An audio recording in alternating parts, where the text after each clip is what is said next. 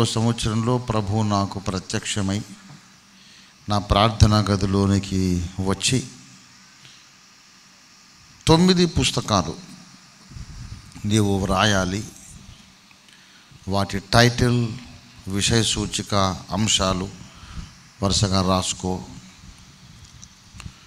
ఈ తొమ్మిది పుస్తకాలు నువ్వు రాసి నీ మాతృభాషలో నువ్వు రాసి ఇంగ్లీష్లోకి కూడా తర్జుమా చేసి ప్రపంచాన్ని ఈ సాహిత్యంతో నింపుతావు. నీవు ఈ కార్యాన్ని జరిగించినప్పుడు మార్టిన్ లూథర్ ద్వారా నేను ప్రారంభించిన క్రైస్తవ సంఘ సంస్కరణ ముగింపుకు వస్తుంది అని దేవుడు స్పష్టంగా నాతో మాట్లాడాడు. దేవుడు మాట్లాడతాడా అని అనుమానించే వాళ్ళు ఉండొచ్చు. కానీ దేవుడు నాతో మాట్లాడాడు నేను నమ్మాను. అప్పుడే ఆ సాక్ష్యం చెప్పాను ఎనభై రెండు నుండి ఇప్పటి వరకు ముప్పై మూడు సంవత్సరాలు.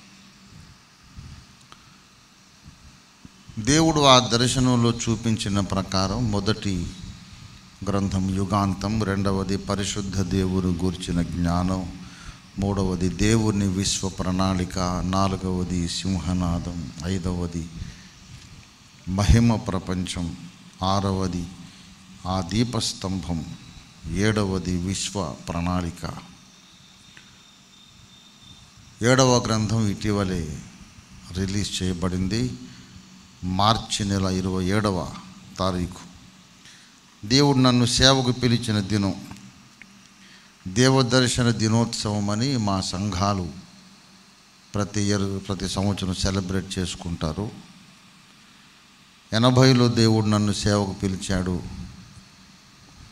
ఇప్పుడు ముప్పై ఐదవ సంవత్సరం మొన్ననే థర్టీ ఫిఫ్త్ యానివర్సరీ జరుపుకున్నాం.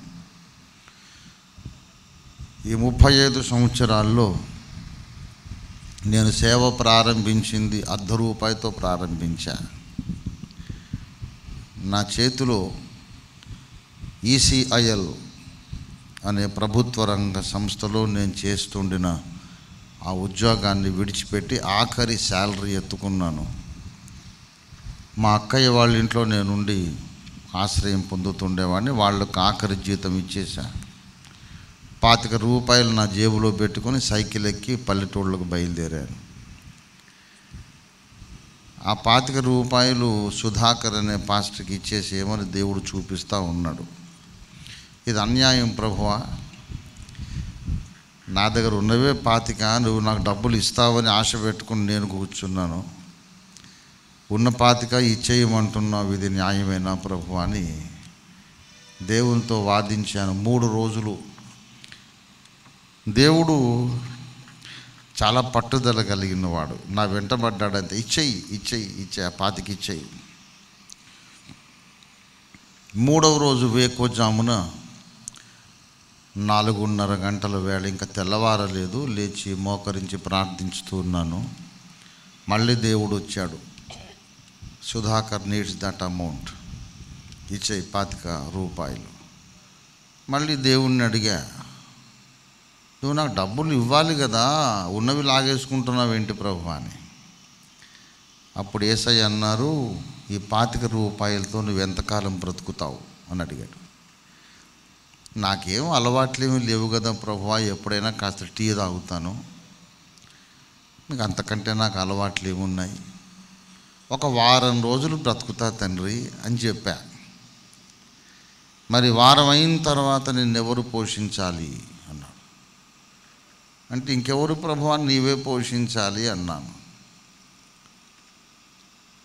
అప్పుడు ప్రభు అన్నారు వారం అయిన తర్వాత నేను పోషించగలను. ఈరోజు పోషించలేనా? వారం తర్వాత నీవు నన్ను నమ్మగలవు. ఇవాళ నమ్మలేవా? అని అడిగాడు. అప్పుడు నా బుద్ధిహీనత నాకు అర్థమైంది. క్షమించు తండ్రి. చాలా మూర్ఖుణ్ణి. ఎప్పుడో నమ్మడం ఏంటి? ఈ గంట ఈ గడియే నమ్ముతాను నేను అని ప్రభువుకు నేను జవాబిచ్చి వెంటనే లేచి ఆ పాతిక రూపాయలు ఆయనకి ఇచ్చేసి ఆ జేబులు ఖాళీ. దేవునికి లోబడ్డాను అనే మహా సంతోషం హృదయంలో పొంగుతోంది. హృదయంలో ఒక మారుమూలన కొంచెం దిగులు కూడా ఉంది. అసలు ఏం లేవుగా నా దగ్గర డబ్బులు ఉన్నాయి. దిగులు దిగులుగా జేబు తడుముకుంటే గుండ్రంగా తగిలింది ఒక అర్ధ రూపాయి బిళ్ళ. ఆ అర్ధ రూపాయి బిళ్ళతోనే సేవ ఆరంభించాను. ఇప్పుడు ముప్పై ఐదు సంవత్సరాలు. దేవుడు నన్ను నీళ్ళ మీద నడిపించాడు. మునిగిపోవాల్సిన పరిస్థితులు వచ్చినా కానీ నేను మునిగిపోలేదు. దేవుడు నన్ను నిలబెట్టాడు. నా ద్వారా విన్నటువంటి సత్యములో ప్రతిష్ఠించబడినటువంటి సేవకులు దాదాపు ఐదు వందల మంది కంటే ఎక్కువ ఈనాడు భారతదేశంలో ఉన్నారు. ఆరు వందల కంటే ఎక్కువ సంఘాలు Agape full gospel ministries Agape full gospel church in fellowship of Ophir ministries అని బోర్డు పెట్టుకున్న సంఘాలు ఆరు వందలకు పైచిలకు ఉన్నాయి. బోర్డు పెట్టుకోకుండా నన్ను వెంబడిస్తున్నటువంటి శిష్యుల సంఘాలు ఇంకా అన్ని ఉంటాయి. కొంతమంది ఏమనుకున్నారంటే అన్నయ్యకు బోర్డు భారం లేదు బోధ భారం ఉంది. ఏ బోర్డు అయితేనేమో బోధ సరిగా ఉండాలి అని అన్నయ్య ఎన్నోసార్లు చెప్పారు. కనుక అన్నయ్య బోధన మేము పాటిస్తాము. ఆ బోర్డు ఏదో ఒకటి కర్మెలు షాలేము న్యూ జెరూసలేం ఎన్నో సంఘాలు ఎన్నో పేర్లు పెట్టుకున్నారు. మరికొందరు ఏమనుకున్నారంటే ఆయన బోధే చెప్పినప్పుడు ఆయన బోర్డే పెడదాం ఇంకో బోర్డు ఎందుకు అని పెట్టుకున్న వాళ్ళు ఒక ఆరు వందల మంది ఉంటారు. న్యూ జెర్సీ లొడాయిలో ఒక సంఘం ఉంది. సింగపూర్లో కువైట్లో సౌదీలో అలాగే యూకేలో. దాదాపు సర్వ ప్రపంచంలో ఓఫీర్ గారి బోధలో నేను రక్షించబడ్డాను సత్యంలోనికి వచ్చానని చెప్పుకునే వాళ్ళు ఉన్నారు. వీళ్ళెవరికి నేను డబ్బులు ఇను నాకే ఎదురు డబ్బులు ఇస్తారు. మా సంఘ కాపరులందరూ విశ్వాసులిచ్చే దశమ భాగాల మీద బ్రతికి ఆ దశమ భాగంలో దశమ భాగం నాకు పంపిస్తారు. దానితో కొత్త సంఘాలు స్థాపిస్తూ ఉంటాం. ప్రిలారా ఆ ఎనభై రెండవ సంవత్సరంలో ప్రభువు నాకు చెప్పినటువంటి దర్శనం ఈ ఎనిమిది పుస్తకాలు నువ్వు రాయాలి ఇందాక తొమ్మిది అన్నాడు ఇప్పుడు ఎనిమిది అంటున్నాడు ఏంటి అని గందరగోళం కాకండి. తొమ్మిది ఎనిమిది రెండు రైటే. ఎందుకు రైటో తర్వాత చెబుతాను. ఇప్పుడు అది చెప్పడానికి చాలా టైం అవుతుంది. ఒక హింట్ ఇస్తాను. ఎనిమిది అక్షరార్థమైన గ్రంథాలు తొమ్మిదవది సాదృశ్య రూపక గ్రంథం. అంతవరకు గుర్తుపెట్టుకోండి. ఈ పుస్తకాలు తెలుగులో రాస్తావు ఇంగ్లీష్లోకి తర్జుమా చేస్తావు అని దేవుడు చెప్పాడు. రెండు వేల పన్నెండులో నేను అమెరికాకి వెళ్ళాను టేట్ పబ్లిషర్స్ అనే ఒక American Christian number one publishing కంపెనీతో అరకోటి రూపాయలు చెల్లించి అగ్రిమెంట్ రాసుకున్నాం. నా ఇంగ్లీష్ పుస్తకాలు వాళ్ళు పబ్లిష్ చేయడానికి ఇష్టపడ్డారు. పరిశుద్ధ దేవుని గూర్చిన జ్ఞానం అనే గ్రంథం. ఈజ్ గాడ్ అట్ ట్రినిటీ అనే గ్రంథం. తర్వాత పాపము సాతాను యొక్క ఆవిర్భావమును గూర్చిన గ్రంథం. దేవుని విశ్వ ప్రణాళిక. దాని English version did God create Satan ఈ రెండు గ్రంథాలు అమెరికాలో నేను ఇంగ్లీష్లో రాశాను. టేట్ పబ్లిషర్స్ పబ్లిష్ చేశారు. అమెజాన్లోనికి మీరు వెళితే ఆ టేట్ పబ్లిషర్స్ వెబ్సైట్లో కానీ అమెజాన్లో కానీ ఈ బుక్ కూడా మీరు డౌన్లోడ్ చేసుకునే అవకాశం ఉంది. ఆల్రెడీ దేవుడు చెప్పినటువంటి సంగతులు ఆయన ఎనిమిది పుస్తకాలు రాయమన్నాడు ఏడు రాసేసాను ఇంకా ఒకటి రాయాలి. బైబిల్ వ్యాఖ్యాన పద్ధతులు.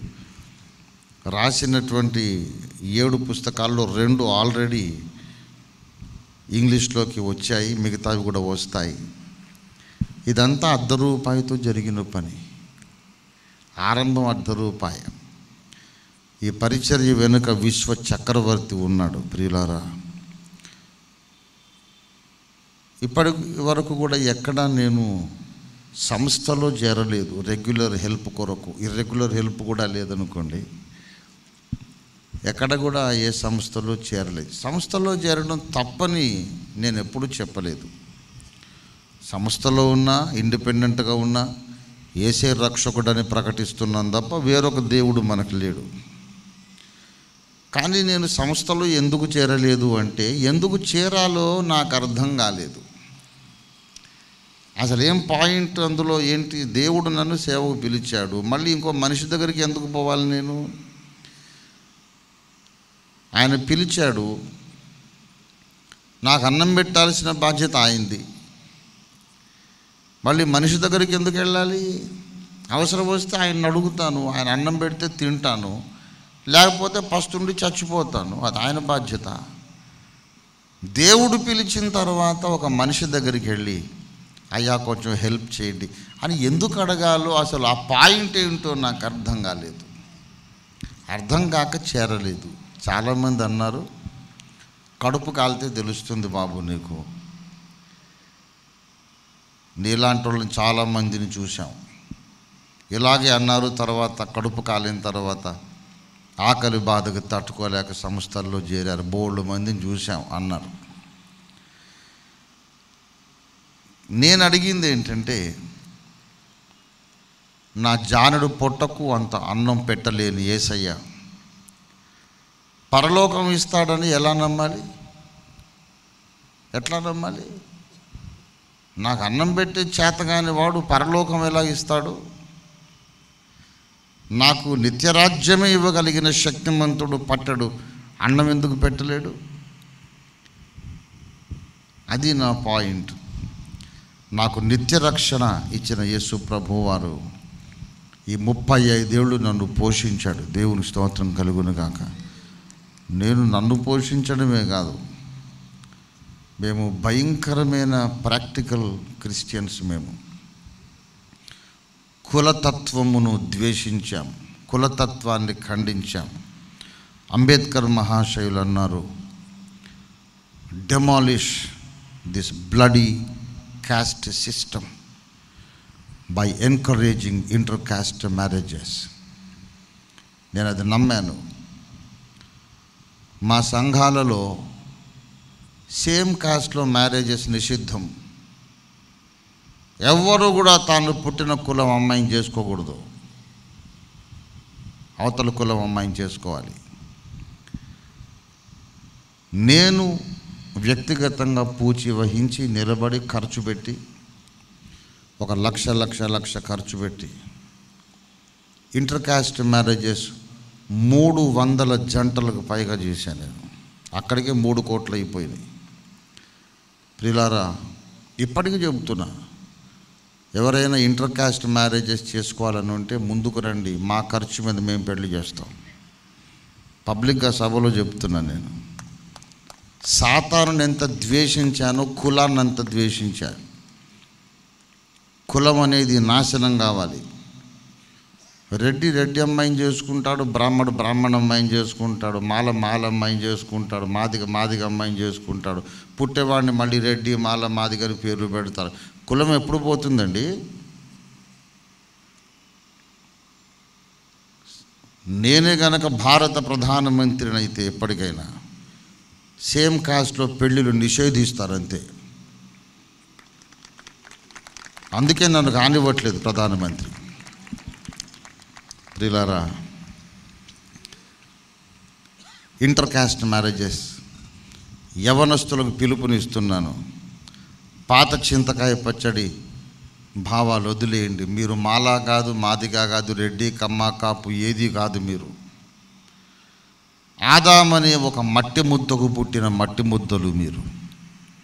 దేవుడు జిగట మంటితో ఒక పురుష దేహాన్ని నిర్మించి జీవవాయువును ఉదగా జీవాత్మగా మారాడు. అతడే ప్రథమ మానవుడు. ఆ మట్టి ముద్దకు ప్రాణం వచ్చిన మట్టి ముద్దకు మనమందరం పుట్టాం. మనం మట్టి ముద్దలం ఆదామును చేయడానికి దేవుడు వాడిన మట్టిది ఏ కులమో ఇవాళ నీది నాది అదే కులం. దేవుడు ఊదిన జీవ వాయువుది ఏ కులమో నీది నాది అదే కులం. ఆ వాయువుకు కులం లేదు ఆ మట్టి కులం లేదు. నీకెక్కడిది కులం? పురాణ పురుషులకు కులం లేదు. మన జాతి చరిత్ర నడిపినటువంటి అగ్ర నాయకులకు కులం లేదు. జవహర్లాల్ నెహ్రూ గారు కాశ్మీరీ పండిట్ బ్రాహ్మణ్ ఆయన కుమార్తె ఇందిరా ప్రియదర్శిని ఒక పారసీక దేశం వాడు పార్సీ అయినటువంటి ఫిరోజ్ ఖాన్ని ప్రేమించి పెళ్ళి చేసుకుంది. నెహ్రూ గారు నా కూతుర్ని ఇవ్వనన్నాడు గాంధీ గారు అన్నారు అదేమిటి నెహ్రూజీ దేశ ప్రజలంతా ఒకే కులం అని మనం చెబుతున్నాం.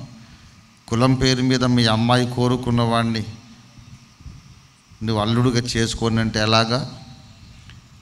అంటే ససేమిరా కుదరదు అన్నాడు గాంధీ గారు అన్నారు నేను కోమటి కదా మరి నా కొడుకైతే ఇస్తావా నీ కూతుర్ని? అన్నాడు. అది బెటర్ లేమన్నాడు. ఆ గొడ్డు మాంసం తినే ఆ పారసీక దేశస్థుడి కంటే కోమటి కొడుకైతే ఇస్తానన్నాడు. శాస్త్రోక్తంగా ఫెరోజ్ని గాంధీ గారు దత్తు తీసుకొని ఫిరోజ్ గాంధీ అని పేరు పెట్టి ఇప్పుడు నా కొడుక్కి నీ కూతురునని చేశారు. నెహ్రూ దేకులం ఇందిరమ్మ దేకులం ఫిరోజ్ దేకులం గాంధీజీ దేకులం వాళ్ళకు వాళ్ళకు పుట్టిన రాజీవ్ గాంధీ దేకులం ఆయన ఇటలీ అమ్మాయిని చేసుకున్నాడు. వాళ్ళకు పుట్టిన రాహుల్ గాంధీదే కులం. జాతిని నడిపిన నాయకులకు కులం లేదు. పురాణ పురుషులకు కులం లేదు. శంతన మహారాజు క్షత్రియుడు. సత్యవతి అనే బెస్త అమ్మాయిని పెళ్ళి చేసుకుంటే కురువంశం పుట్టింది. ఎక్కడుంది కులం? మనకెందుకండి కులం? అన్యులకు కులం ఉంటే అర్థం చేసుకోవచ్చు. క్రైస్తవులకు కులం ఉండడాన్ని క్షమించడానికి వీల్లేదంతే. ముందు క్రైస్తవ పాస్టర్లందరూ తమ పిల్లలకు ఇంటర్ కాస్ట్ మ్యారేజెస్ చేసి మీరు క్రైస్తవులను నిరూపించుకోండి ముందు ఇది నా పిలుపు. ఇంటర్ కాస్ట్ చేయండి ఎవరు అడ్డం వస్తారో నేను చూస్తాను. గ్యాంగ్ వారికైనా నేను రెడీ. నేను రెడీ అండి. పదివేల మందిని పెట్టుకొని దిగుతా. చూస్తాడు వాడు ఆపుతాడు? భారతదేశంలో కులం అనేది లేకుండా పోవాలి. కంకణం కట్టుకోండి. ప్రిలారా వీఆర్ ప్రాక్టికల్ క్రిస్టియన్స్ సత్యము న్యాయం నిరూపించాలి స్థాపించాలి. ఈ పోరాటంలోనే ముప్పై ఐదు సంవత్సరాలు గడిచిపోయినాయి. అలసిపోలేదు. నా మీద హత్యా ప్రయత్నాలు చేశారు విషం ప్రయోగించారు చేతబడులు చేశారు. అయినా సరే ఏం కాలేదు. ప్రపంచములోని విషం క్షుద్ర శక్తులు ప్రపంచంలోని విషమంతా మూటగట్టిన క్షుద్ర శక్తులన్నీ మూటగట్టిన అదంతా కలిసి నా ఏసయ్య రక్తంలోని ఒక్క చుక్కకు సమానం కాదంతే. దేవునికి స్తోత్రం కలుగునుగా యేసు రక్తం నన్ను కాపాడుతుండగా ఎవరు నన్ను ఏం చేయలేరని నమ్మాను. దేవుడు నా విశ్వాసాన్ని నిలబెట్టాడు నిరూపించాడు. దేవుని స్తోత్రం కలుగునుగాక. హల్లెలూయ! మనం నమ్మిన దేవుడు చచ్చిపోయిన దేవుడు కాదండి. చచ్చిపోయి లేచిన దేవుడు. దేవుని స్తోత్రం కలుగునుగాక. యేసు సజీవుడు. యేసు అజేయుడు. యేసునందు విశ్వసించిన మనం ఓడిపోవడం అసాధ్యం అసాధ్యం అసాధ్యం. దేవునికి స్తోత్రం. హల్లెల్లుయ హల్లెల్లుయ ప్రభునందు ప్రిలారా ఆ అర్ధ బ్రతికాము సంఘాలు కట్టాం పుస్తకాలు రాశాం దేశ విదేశాలకు సత్యం ప్రాకిపోయింది శక్తి చేతనైనను బలము చేతనైనను కాక నా ఆత్మ ద్వారా ఇది చేతునని యహోవా సెలవిచ్చెను. ప్రపంచం మీద మా ముద్ర పడిపోయిందండి. అర్ధ రూపాయితో ప్రారంభమైన పరిచర్య. మేమంటే ఇష్టం లేని పాస్టర్లు ఉన్నారు. మమ్మల్ని చెడ్డవాళ్ళని ప్రచారం చేసేవాళ్ళు ఉన్నారు. వాళ్ళ ఇళ్ళ లోపలి గదుల్లోకి పోయి చూడండి నా పుస్తకాలు దాచుకొని చదువుకుంటారు.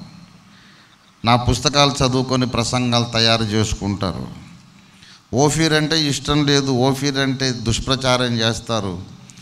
అతను చెప్పే ప్రసంగంలో నేను చెప్పిన పాయింట్లు ఉంటాయి చూడండి నా పుస్తకాల్లో పాయింట్లు ఉంటాయి. ప్రియులారా ప్రపంచం మీద మా ముద్ర పడిపోయింది. అది దేవుని శక్తి మా శక్తి కాదు. ప్రియులారా దేవుడు నమ్మదగిన వాడు నన్ను ప్రభుత్వ సంస్థ ఉద్యోగం నుంచి పిలిచిన యేసయ్య నమ్మదగినవాడు. మనము నమ్మదగిన వారము కాకపోయినను ఆయన నమ్మదగిన వాడుగా ఉండును. దేవుని స్తోత్రం. ఈ పుస్తకాలు తప్పకుండా చదవాలి మీరు. తప్పదు. తప్పదంతే. లేకపోతే బైబిల్ అర్థం కాదు. చాలా పెద్ద స్టేట్మెంట్ చేస్తున్నాను నేను. ఇది ఏ భాష అయినా ఏ డినామినేషన్ అయినా కానివ్వండి. నా పుస్తకాలు మీరు తప్పక చదవాలి లేకపోతే బైబిల్ మొదటి పేజీ కూడా మీకు అర్థం కాదు. అర్థం కాదు అర్థం కాలేదనే సంగతి నా పుస్తకాలు చదివిన తర్వాతే అర్థమవుతుంది. లేకపోతే ఇంకొక ఆప్షన్ ఉంది. నా పుస్తకాలు చదవకుండానే మీరు పరదేశకు వెళ్ళిపోతే అక్కడికి వెళ్ళిన తర్వాత అయినా అర్థమవుతుంది.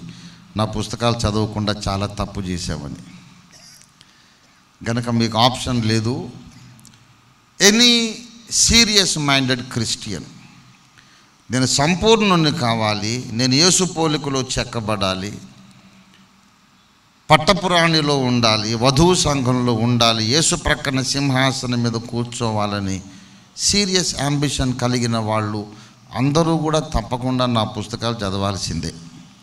లేకపోతే సింహాసనం మిస్ అయిపోతారు. నా పుస్తకాలు చదవని వాళ్ళందరికీ నా వందనాలు నా కృతజ్ఞతలు.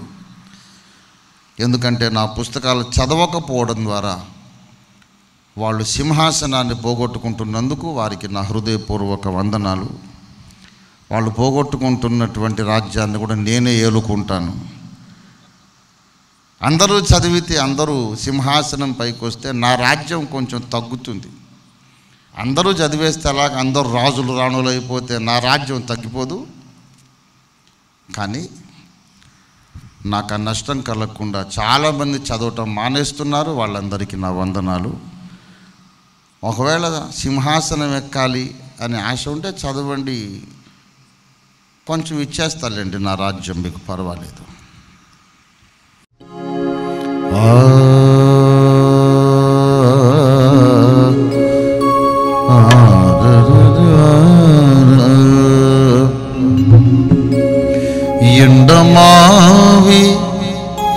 ఈ జగమని ఎరిగి ఆ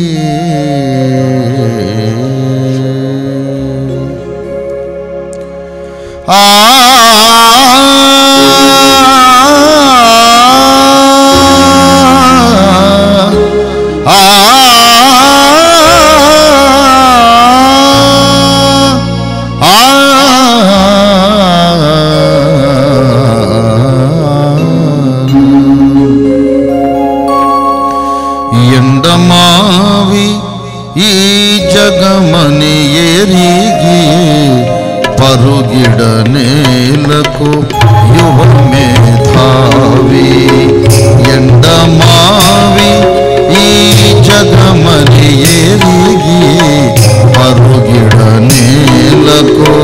యువ మేధావి నాలుగు దినముల నటన మీదోయి ఏసే సత్యము మదిగనుమోయి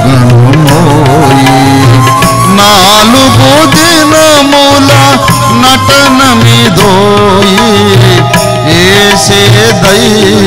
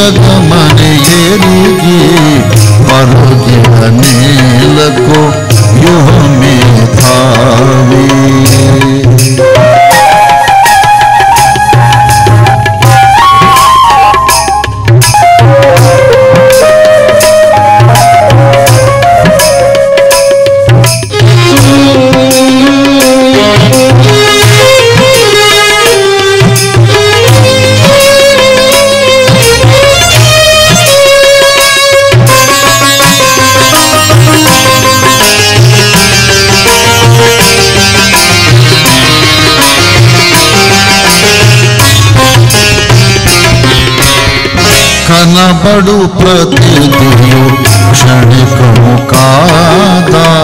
కనబడని వీల నిత్యము కాదా?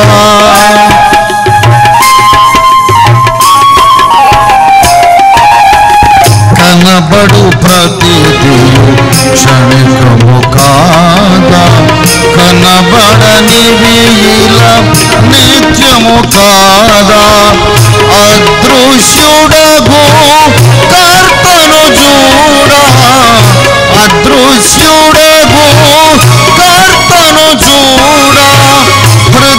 पुनेत्रमु तिरुहुमु वेदा हृदय पुनेत्रमु तिरुहुमु वेदा यंडमावि ई जगमनि हेरिकी परुगिडनेलकु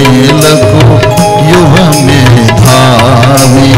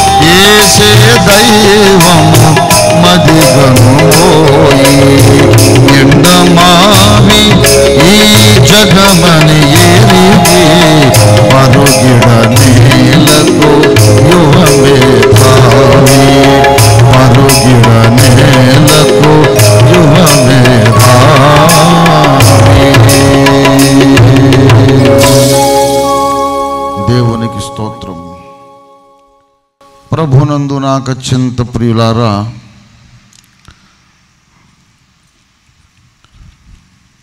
చాలా అత్యంత సంక్షిప్తమైనటువంటి సందేశం కొరకు నేటి మన మూల వాక్యంగా మొదటి కొరింథి పత్రిక సుపరిచితమైనటువంటి వచనం చదువుకుందాం. పదిహేనవ అధ్యాయం యాభై ఎనిమిదవ వచనం. Probably one of the most popular well known verses in the New Testament 1 Corinthians 15 58 మొదటి కొరింథీ పదిహేను యాభై ఎనిమిది కాగా నా ప్రియ సహోదరులారా మీరు మీ ప్రయాసము ప్రభువునందు వ్యర్థము కాదు అని ఎరిగి స్థిరులను కదలని వారును ప్రభువు కార్య అభివృద్ధి ఎందు ఎప్పటికీ ఆసక్తులై ఉండుడి. చిన్న మాట ప్రార్థన చేసుకుందాం. ప్రేమ కలిగిన మా ఏసయ్య నీ పరిశుద్ధ పాదములకు స్తోత్రములు తండ్రి. మేలిమి బంగారు మట్లలో నిలుపబడిన చలువరాతి స్తంభముల వంటి నీ పాదములకు ఏసయ్య స్తోత్రములు. కల్వరి కొండ మీద కర్రకు శిలువం రాను మీద బలమైన పెద్ద పెద్ద మేకులతో చీల్చబడిన నీ మృదువైన కోమల పాదాలకు స్తోత్రాలు వందనాలు. కరగుచున్న అపరంజి కనబడుచు ఏడు దీపస్తంభముల మధ్య సంచరించుచున్న నీ పరిశుద్ధ పాదములకు స్తోత్రములు. నీ కంఠస్వరమిత్తి మీ లేఖనములో నుండి నీ పరిశుద్ధాత్మ ద్వారా నాతో మాతో మాట్లాడవలసిందిగా మిమ్మను వేడుకుంటున్నాము. నీ పిల్లలమయ్యా ఆకలి వేసింది. అమ్మ అన్నం పెట్టు ఆకలి వేసిందంటే అమ్మ అన్నం పెట్టక మానదు. అంతకన్నా కోట్ల రెట్లు ప్రేమమయుడవు.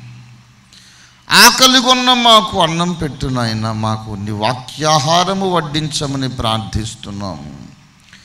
నీ శిల్వ రక్త ప్రోక్షణ చేత నీ పరిశుద్ధ కలువరి శిల్వ రక్తమును మీ దాసునిపై ప్రోక్షించుట చేత మీ దాసుని దోషములన్నీ పరిహరించండి. నీ అగ్ని చేత మీ దాసుని బంగారములాగా పుటము వెయ్యండి మీ దాసుని నోట నీ మాటలు ఉంచండి. మీ దాసుని కడిగి శుద్ధీకరించి అభిషేకించి మీ దాసుని నోట నీ పరిశుద్ధ వాక్యము నుంచి. నీ చేతి నీడలో మీ దాసుని కప్పి ఉంచి నీ సిలువ చాటును మరుగుపరిచి మీ దాసుడు కనబడకుండా ఇక్కడ ఏసే కనబడునట్లు నీ శకీన మేఘముని ఇక్కడికి దింపి. మీరే మాట్లాడమని అందరితోనూ మాట్లాడమని అందరికీ కనబడమని ఏసయ్య నామమున స్థుతించి ప్రార్థిస్తున్నాము తండ్రి. Amen amen amen.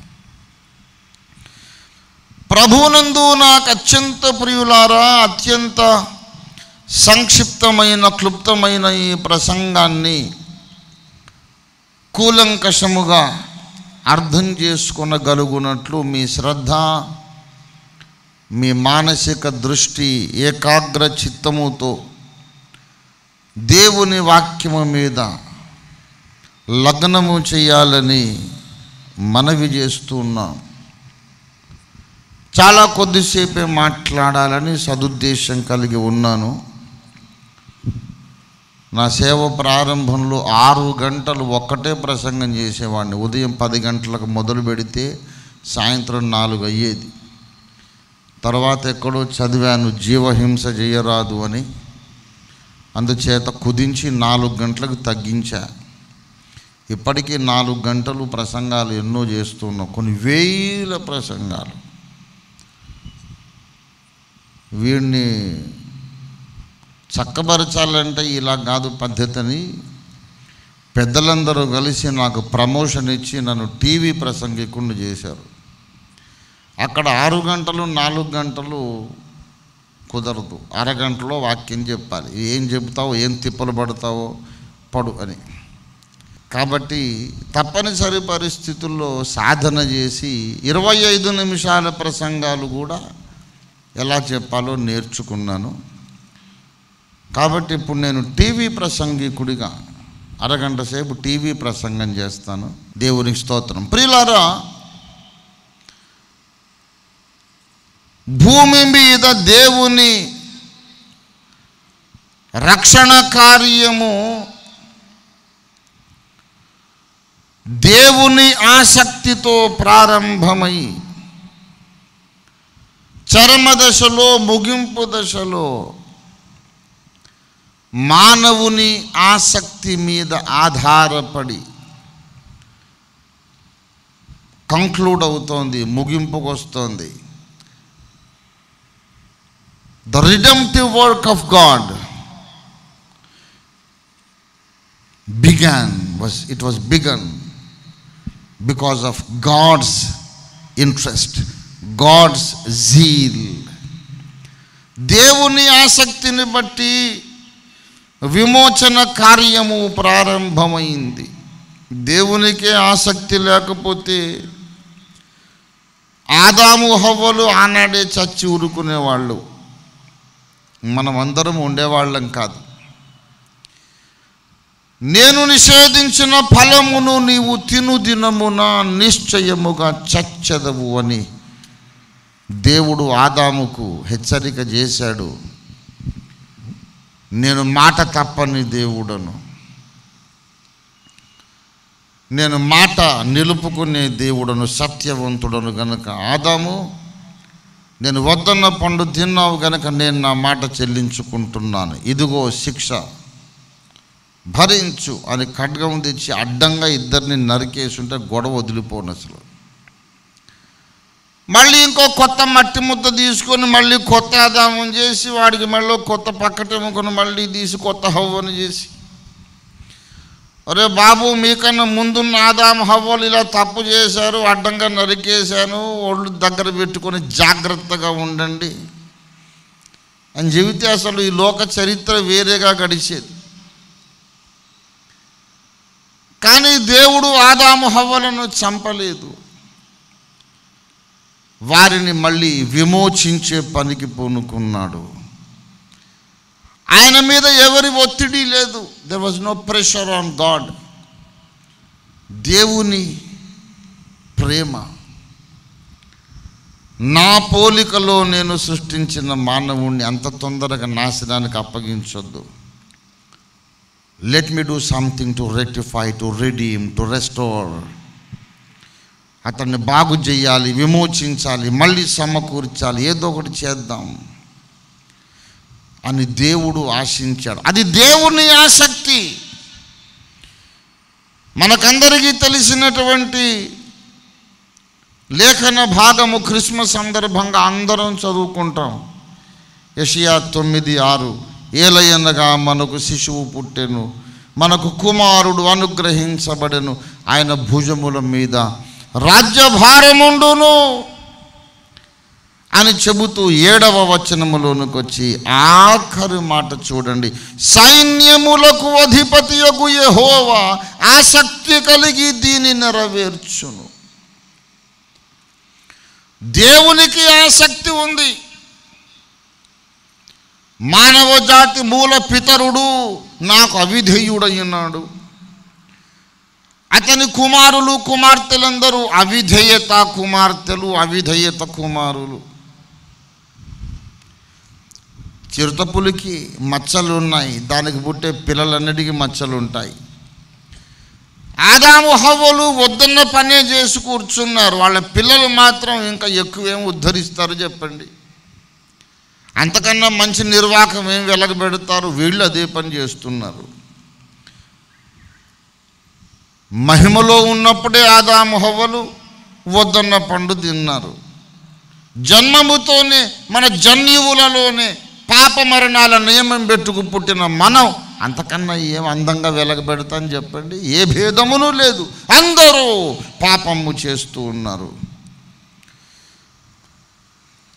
ఋగ్వేదంలో వశిష్ఠ మహర్షి అంటాడు నా హైందవ క్రైస్తవం బుక్ చదవండి.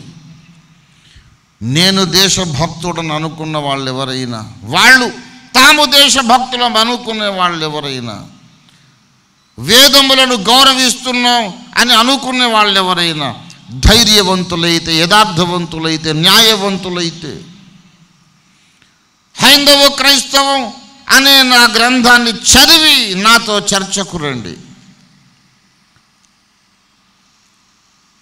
సత్యాన్ని అంగీకరించే ధైర్యం లేనోళ్ళు హైందవ క్రైస్తవం చదవకండి. సత్యాన్ని అంగీకరించే ధైర్యం ఉంటే చదవండి. చదివి నాతో మాట్లాడండి. బైబిల్లో ఉన్నటువంటి వేదాంత సత్యములు సూత్రములు అన్ని వేదాల్లో ఉన్నాయి. బైబిల్లో ఉన్నదంతా వేదంలో ఉంది. చతుర్వేద సంహిత నిద్రాహారాలు మాని అరవై సార్లు చదివా. బైబిల్ ఏమో నూట ఇరవై సార్లు ఎప్పుడో ముగించా. దేవుడు చదివించాడు. ఇప్పుడు మళ్ళీ నేను కూర్చొని చదవాలంటే నేను చదవగలిగేది కాదు. ఆ రోజుల్లో దేవుడు నన్ను అలాగూ సిద్ధపరిచాడు. వశిష్ఠ మహర్షి అంటాడు ఋగ్వేదంలో ఓ వరుణ రాజా మానవ పాపము మానవుని పాపకృతమున మాత్రమే కలుగదు. మానవుని పాపము మానవుని కారణంగానే కలుగదు. మానవుని పాపము పితృ పారంపర్య వంశానుగతముగా కలుగుచున్నది. మాకు తెలిసి కొన్ని తెలియక కొన్ని పాపములు చేసినాము. సుషుప్తిలోను మెళకువలోను జాగ్రత్త అవస్థలోను పాపములు చేసినాము. మా పాపములను పరిహరించుము. సంకెళ్ళ నుండి మాకు విడుదల కలిగించినట్టు పాపమని శృంఖలల నుండి మమ్మల్ని విడిపించుమని వశిష్ఠ మహర్షి ప్రార్థన చేస్తాడు. వశిష్ఠుడే కాదు వేద ఋషులందరూ చేసిన ప్రార్థన. గోతముడు అనే మహర్షి. గౌతముడు కాదు గోతముడు. గోతముడు అనే మహర్షి ఉంటాడు వేదాల్లో. దీర్ఘతముడు అనే మహర్షి ఉంటాడు. దీర్ఘతముడు అంటాడు అసలు నేను ఉన్నానో లేనో నాకు తెలియడం లేదు. నేను అజ్ఞానిని. నేనెవరినో నాకు అర్థము కాలేదు. ఓ భగవంతుడా నీవెవరవు నీవెక్కడ ఉన్నావు నీ స్వభావం ఏమిటి నీ నామం ఏమిటి నిన్ను తెలుసుకొనుటకు నాకు శక్తి దయచేయమని మహర్షులు ప్రార్థన చేశారు. మహిమలో ఉన్నప్పుడే ఆదాము హవ్వలు వద్దన్న పని చేశారు. ఆదాము హవ్వల కడుపున బుట్టి మనమేం చేస్తాం?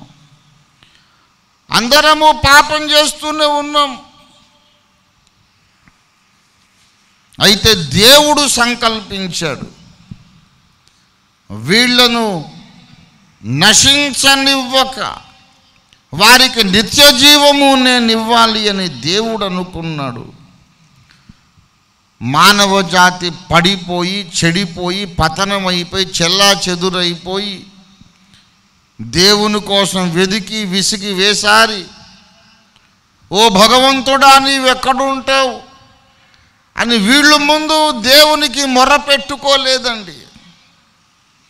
మానవుడు ముందు దేవుని కోసం వెదకలేదు. మానవుడు దేవునికి ముందు మొర్ర పెట్టుకోలేదు. దేవుడే ముందు ఆలోచించాడు. దేవుడు ముందు ఆలోచించాడు. దేవుని ఆసక్తి. ఎవడును నశించవలెనని దేవుడు ఇచ్చయింపక అని ఉంది బైబిల్లో. బైబిల్లో కనబడుతున్న దేవునికి ఉన్న ఒక లక్షణం ఏంటంటే ఏదైనా ఒక రంధ్రాన్వేషణ చేసి లోపములెన్ని దోషములెన్ని ఏదో ఎక్కడో ఒక తప్పును పట్టుకొని ఈ తప్పును బట్టి నేను నరకాగ్నిలో పడేస్తున్నాను వెళ్ళరా? అని ప్రతి ఒక్కరిని దోషిగా నిలబెట్టి ఏదైనా ఒక కుంటి సాకు చూపి సాధ్యమైనంత ఎక్కువ మందిని అగ్నిలో పడేద్దాం. అనే దేవుడు కాదు కాదు కాదు. ఏదైనా ఓ కుంటి సాకు చూపి ఎలాగైనా కొంతమందిని ఇటులాగుదామనుకునే ప్రేమగల దేవుడు ప్రేమగల దేవుడు నరక పాత్రులైన వారిని కూడా ఏ కాస్తైనా చిన్న అవకాశం ఉంటే ఇటులాగుదామని చూస్తాడు ఆయన. ఏ విధము చేతనైనను కొందరు రక్షింపబడవలే అని దేవుడు అనుకున్నాడు. అది దేవుని ఆసక్తి. దేవుని ఆసక్తిని బట్టి ఆదాముహవలు తప్పు చేసి తలదించుకుని నిలబడ్డప్పుడు తనంత తానుగా దేవుడు ఒక అద్భుతమైన వాగ్దానం చేశాడండి ఆది కాండము మూడవ అధ్యాయం. పదిహేనవ వచనంలో సర్పముతో మాట్లాడుతూ సర్పం మీద దేవుడు తన శిక్షను ప్రకటిస్తూ సర్పమా నీకును స్త్రీకి నీ మధ్య వైరము పుట్టించదను. నీ సంతానమునకు నువ్వు స్త్రీ సంతానమునకు మధ్య వైరము పుట్టించదను. నీవు స్త్రీ సంతానమును మడమ మీద కొట్టుదువు. ఆయన ఆ స్త్రీ సంతానమైన వాడు నిన్ను తల మీద కొట్టును. అన్నాడు దేవుడు. స్త్రీ సంతానము. మనందరము స్త్రీలు కనిన వాళ్ళమే. కానీ నాన్నకు కూడా పుట్టాం మనం. ఇటు స్త్రీకి అటు పురుషునికి ఇద్దరికీ సంతానం మనం. చిన్నపిల్లల్ని ఎత్తుకొని ముద్దాడుతూ అడుగుతాయరా నువ్వు మమ్మీ కొడుకువా డాడీ కొడుకువా? వాడు ఆ టైంను బట్టి చెబుతాడు. ఆకలేసిన టైం అయితే నేను మమ్మీ కొడుకునుగా అంటాడు. కడుపు నిండింది అనుకోండి షికారికి వెళ్ళాలి నాన్నగారితో స్కూటర్ మీద వెళ్ళాలి నేను డాడీ కొడుకుని అంటాడు. ఏ చిన్న పిల్లవాడైనా సగం మమ్మీ కొడుకు సగం నాన్నగారి కొడుకు. కానీ భూమి మీద మనిషిగా సంచరించినటువంటి వ్యక్తులందరిలో ఒక ఆయన ఉన్నాడు. ఆయనకు చెప్పుకోవటానికి అసలు తండ్రే లేడు. తండ్రి ఎవడో తెలియదని కాదు తండ్రి లేడు. యేసు తల్లి అయిన మరియ యోసేపునకు ప్రధానము చేయబడిన తర్వాత వారు ఏకము కాక మునుపు ఆమె పరిశుద్ధాత్మ వలన గర్భవతిగా ఉండెను. ఆమె గర్భవతిగా ఉంటే పరిశుద్ధాత్మ వల్ల ఏమిటండి? ఎక్కడో తప్పు చేసింది అనుకోవచ్చుగా అనేవాళ్ళు ఉన్నారు. అవును అనుకోవచ్చు. అలాగ అనుకునే ఆస్కారం ఉంది. అలాంటివెన్నో జరుగుతున్నాయి పాడు లోకంలో. కానీ మరియమ్మ తప్పు చేయలేదు. అని మనం నమ్మడానికి ఒక ప్రబల తార్కాణం ఉన్నది. ఏంటంటే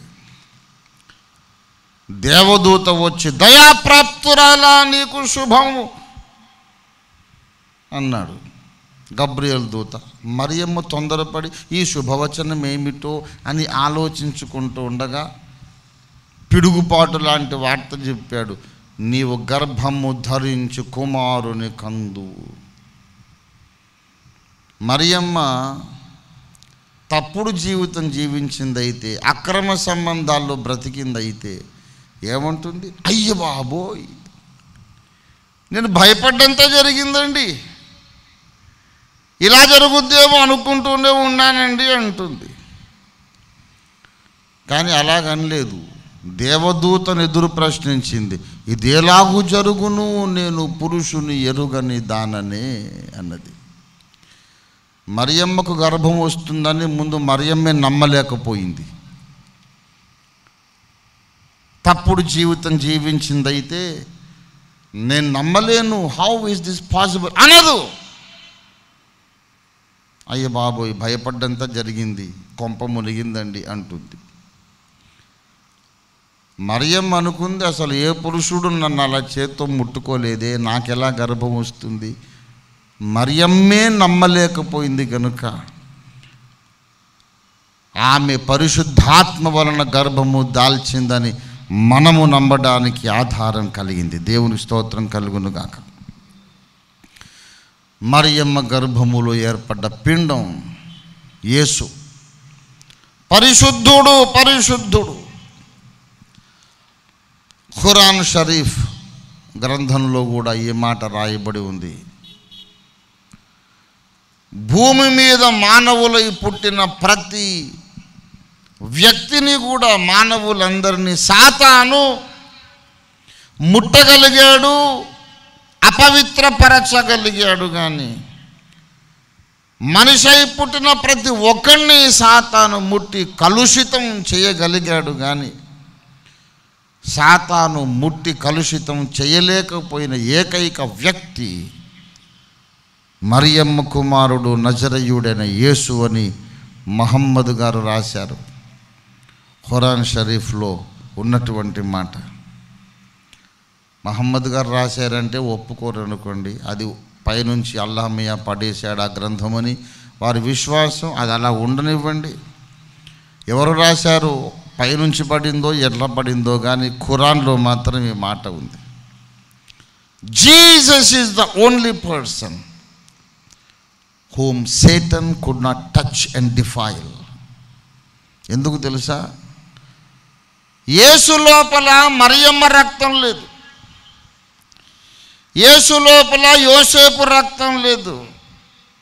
ఆదాము రక్తం లేదు హవ్వ రక్తం లేదు. మానవ రక్తమే కాదు అది మనం పంచుకు పుట్టిన రక్తం కాదు అది దేవుని రక్తము అని అపస్తరుల కార్యాలు ఇరవయవ అధ్యాయం ఇరవై ఎనిమిదవ వచనంలో లూకా భక్తుడు రాశాడు. దేవుడు తన స్వరక్తమిచ్చి సంపాదించిన సంఘమును కాయుటకు అన్నాడు. The church which God has purchased with his own blood the blood of Jesus was God's own blood దేవుని రక్తం అది. దేవునికి రక్తం ఉందా? దేవుడు ఆత్మరూపుడు కదా. అవును దేవునికంటూ రక్తం ఉండదు ఆయన ఆత్మరూపుడు. కానీ భూమి మీద ఉన్నటువంటి రకరకాల రక్తములలో ఇది నా సొంతది అని దేవుడు చెప్పుకోగలిగిన రక్తం ఏసయ్య రక్తం. యేసులోపలికి మరియమ్మ రక్తం రాలేదు.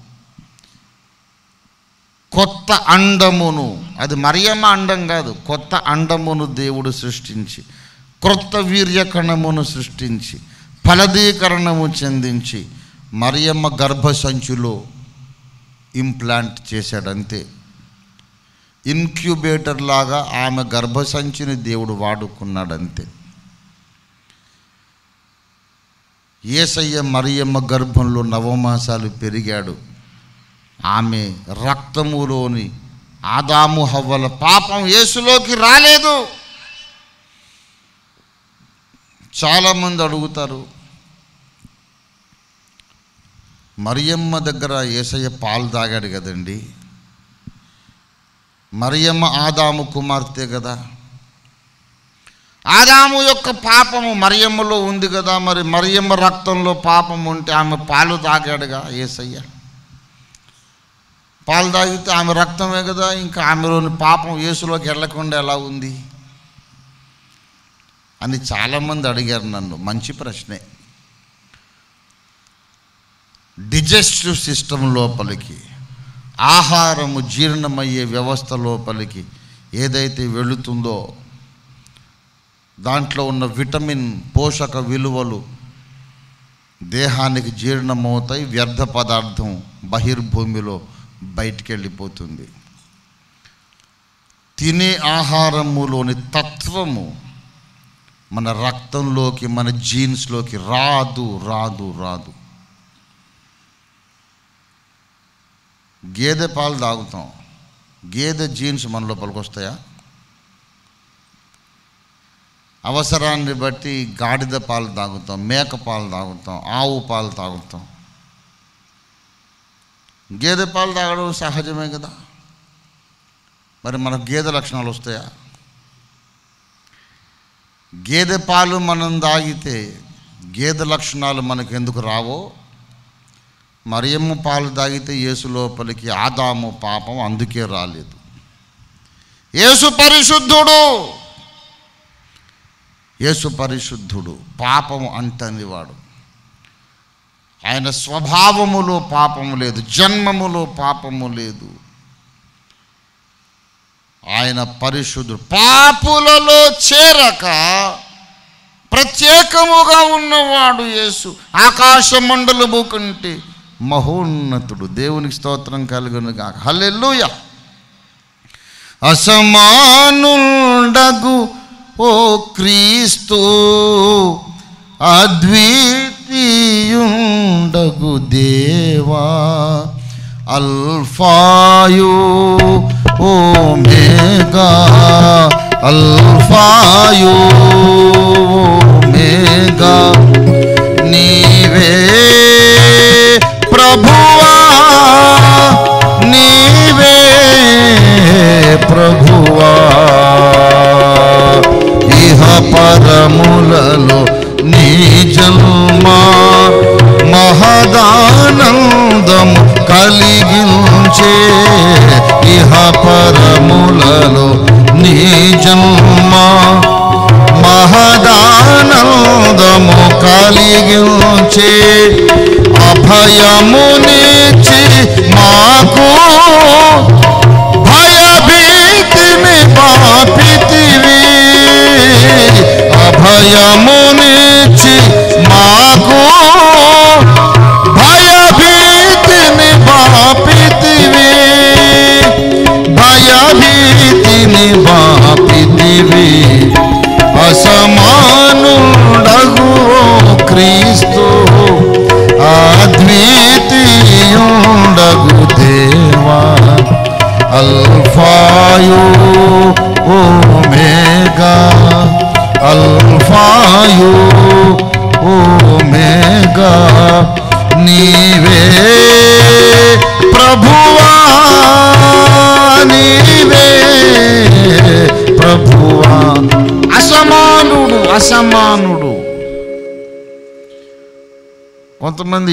బొమ్మ పెట్టేసి అక్కడ ఈ దేవుడు బొమ్మ ఆ దేవుడు బొమ్మ మధ్యలో ఏసయ్య బొమ్మ ఆ పక్కన తాతయ్య బొమ్మ వాళ్ళ నాన్నమ్మ బొమ్మ అన్నీ పెట్టేసి అగరొత్తులు వెలిగిస్తుంటారు. అవన్నీ పెట్టుకోండి మాకు అభ్యంతరం లేదు. దేవతలందరి బొమ్మలు పెట్టుకోండి మీ తాతయ్య బొమ్మ కూడా పెట్టుకోండి. కానీ నా ఏసయ్య బొమ్మ మాత్రం పెట్టొద్దు అక్కడ. ఆయన ఒకడు వేరు. వీళ్ళందరూ ఒక కేటగిరీ ఆయన ఒకడు వేరే కేటగిరీ. దేవునికి స్తోత్రం కలుగును గాక హల్లెల్లుయ సమానులెవరు ప్రభు. ఎవరండి సమానులు? నీ సమానులెవరు ప్రభో.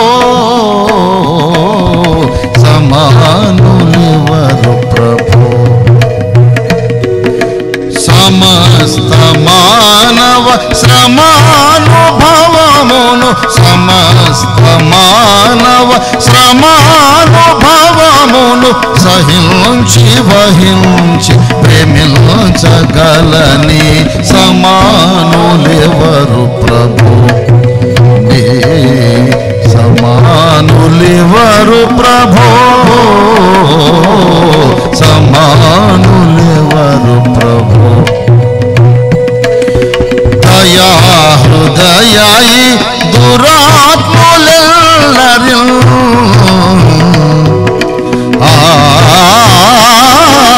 దయా హృదయాయి దురాత్ములెల్లరి హృదయాయి దురాత్ములెల్లరి నయాన భయాన రయాన బ్రోవని సమానులెవరు ప్రభు నీ సమానులెవరు ప్రభో సమానులెవరు ప్రభో. సమానులు ఎవరండి యేసుతో పోల్చడానికి ఎవ్వరూ లేరు. మిగతా వాళ్ళందరూ భూమి మీద నడిచేవాళ్ళు నా యేసయ్య. ఆకాశ మండలము కంటే మిక్కిలి హెచ్చైన వాడు పేరుకు ఆయన మరియమ్మ కొడుకు కానీ మరియమ్మ రక్తము లేదు. మరియమ్మ జీన్స్ లేవు ఆయనలో.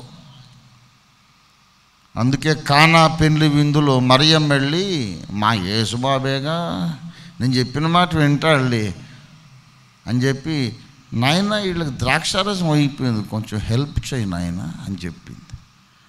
ఓ స్త్రీ నాతో నీకేమన్నాడు? గతుకుమంది Mariyamma. O woman what I have to do with you అదిరిపడింది. అయ్యి బాబోయ్.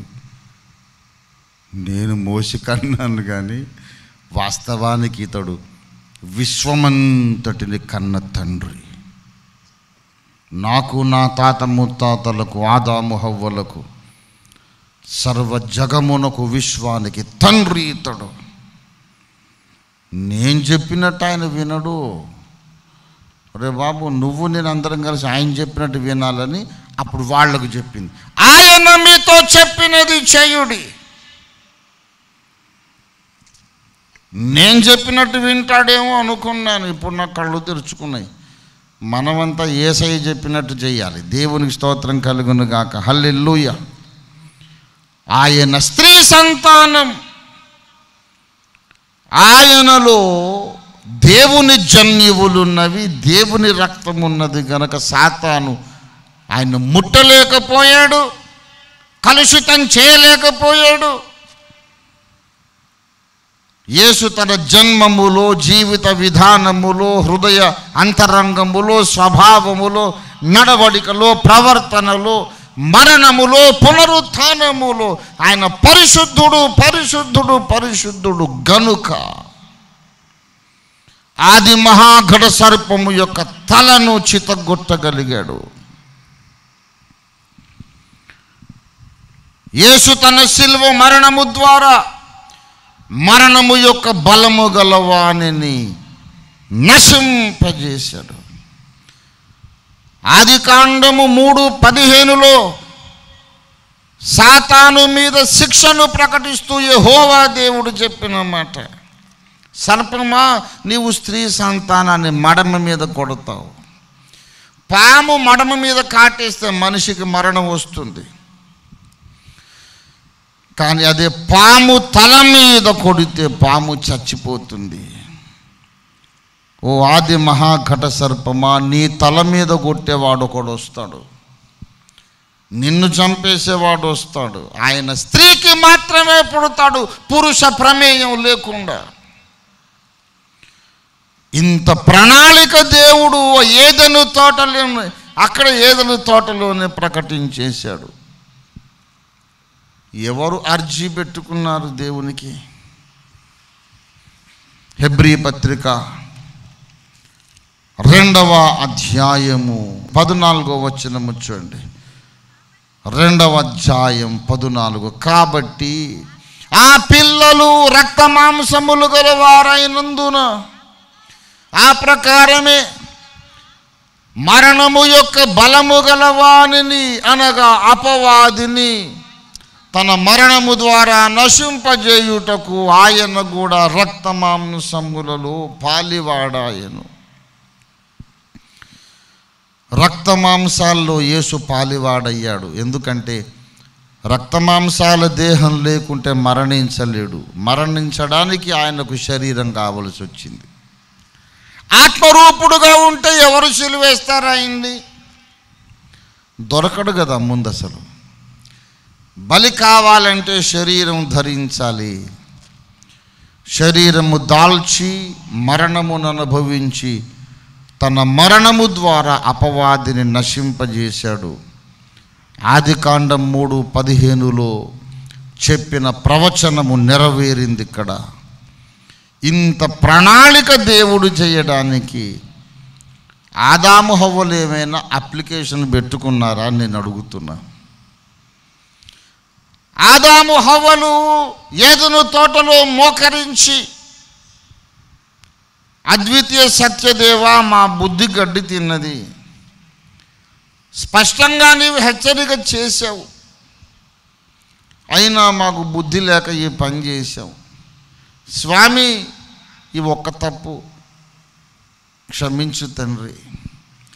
ఏదో రకంగా మేము మా జాతి బ్రతికి బట్టగట్టి దారి ఏదన్నా చూపించు స్వామి.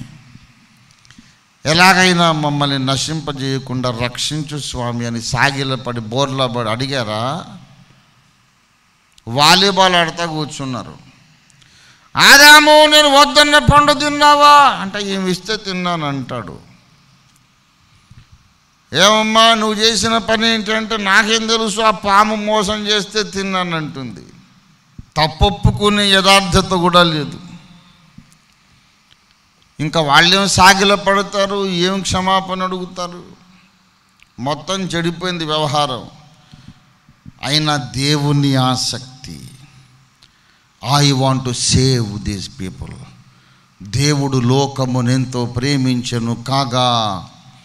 తన అద్వితీయ కుమారునిగా పుట్టినవాడు ఒకడు ఉన్నాడు ఆయన ఎందు విశ్వాసం ఉంచే ప్రతివాడు నశింపక నశింపక నిత్య జీవము పొందునట్లు తన కుమారుని దేవుడు లోకమునకు అనుగ్రహించెను. రెండు వేల సంవత్సరాల క్రితం బెత్లహేము గ్రామంలో మరియమ్మ గర్భము ద్వారా శిశువు పుట్టెను. దేవకుమారుడు మనకు అనుగ్రహించబడెను. తన మరణము ద్వారా అపవాదిని ఆయన నశింపజేసెను. ఇది దేవుని ప్రణాళిక. ఇంత చేసిన దేవుడు తన ఆసక్తిని బట్టి లేఖనాలు వ్రాయించాడు.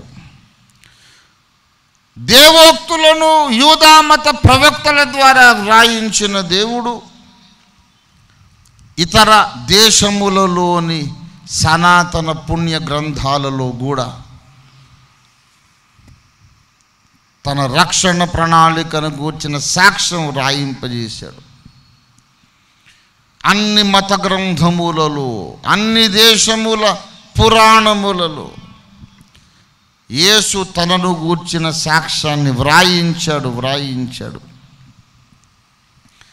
ఇంత చేసిన దేవుడు సర్వ ప్రపంచానికి సువార్తను పంపించాడు. మీరు వెళ్ళి సమస్త సర్వ సృష్టికి లోకమంతటికి వెళ్ళండి సర్వలోకానికి వెళ్ళండి సర్వ సృష్టికి సువార్త ప్రకటించండి. ఈ రాజ్య సువార్త లోకమందరి సకల జనములకు ప్రకటించబడాలి. ఇదంతా దేవుని ఆసక్తి. ఈ సువార్తను నమ్మడానికి దేవుడు ఎన్నెన్నో ఆధారములు కల్పించాడు దేవుని ఆసక్తి. అపస్తరుల కార్యాలు పదిహేడవ అధ్యాయము ముప్పై ఒకటవ వచనం.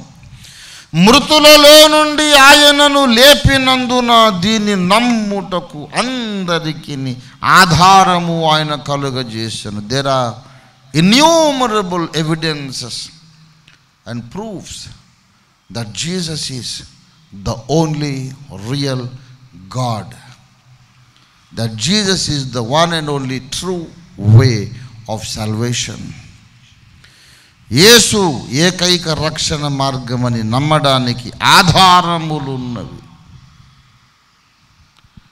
ప్రిలారా పబ్లిక్గా మాట్లాడుతున్నాం టీవీల్లో మాట్లాడుతున్నాం గ్రంథాలు కరపత్రికలు రిలీజ్ చేశాం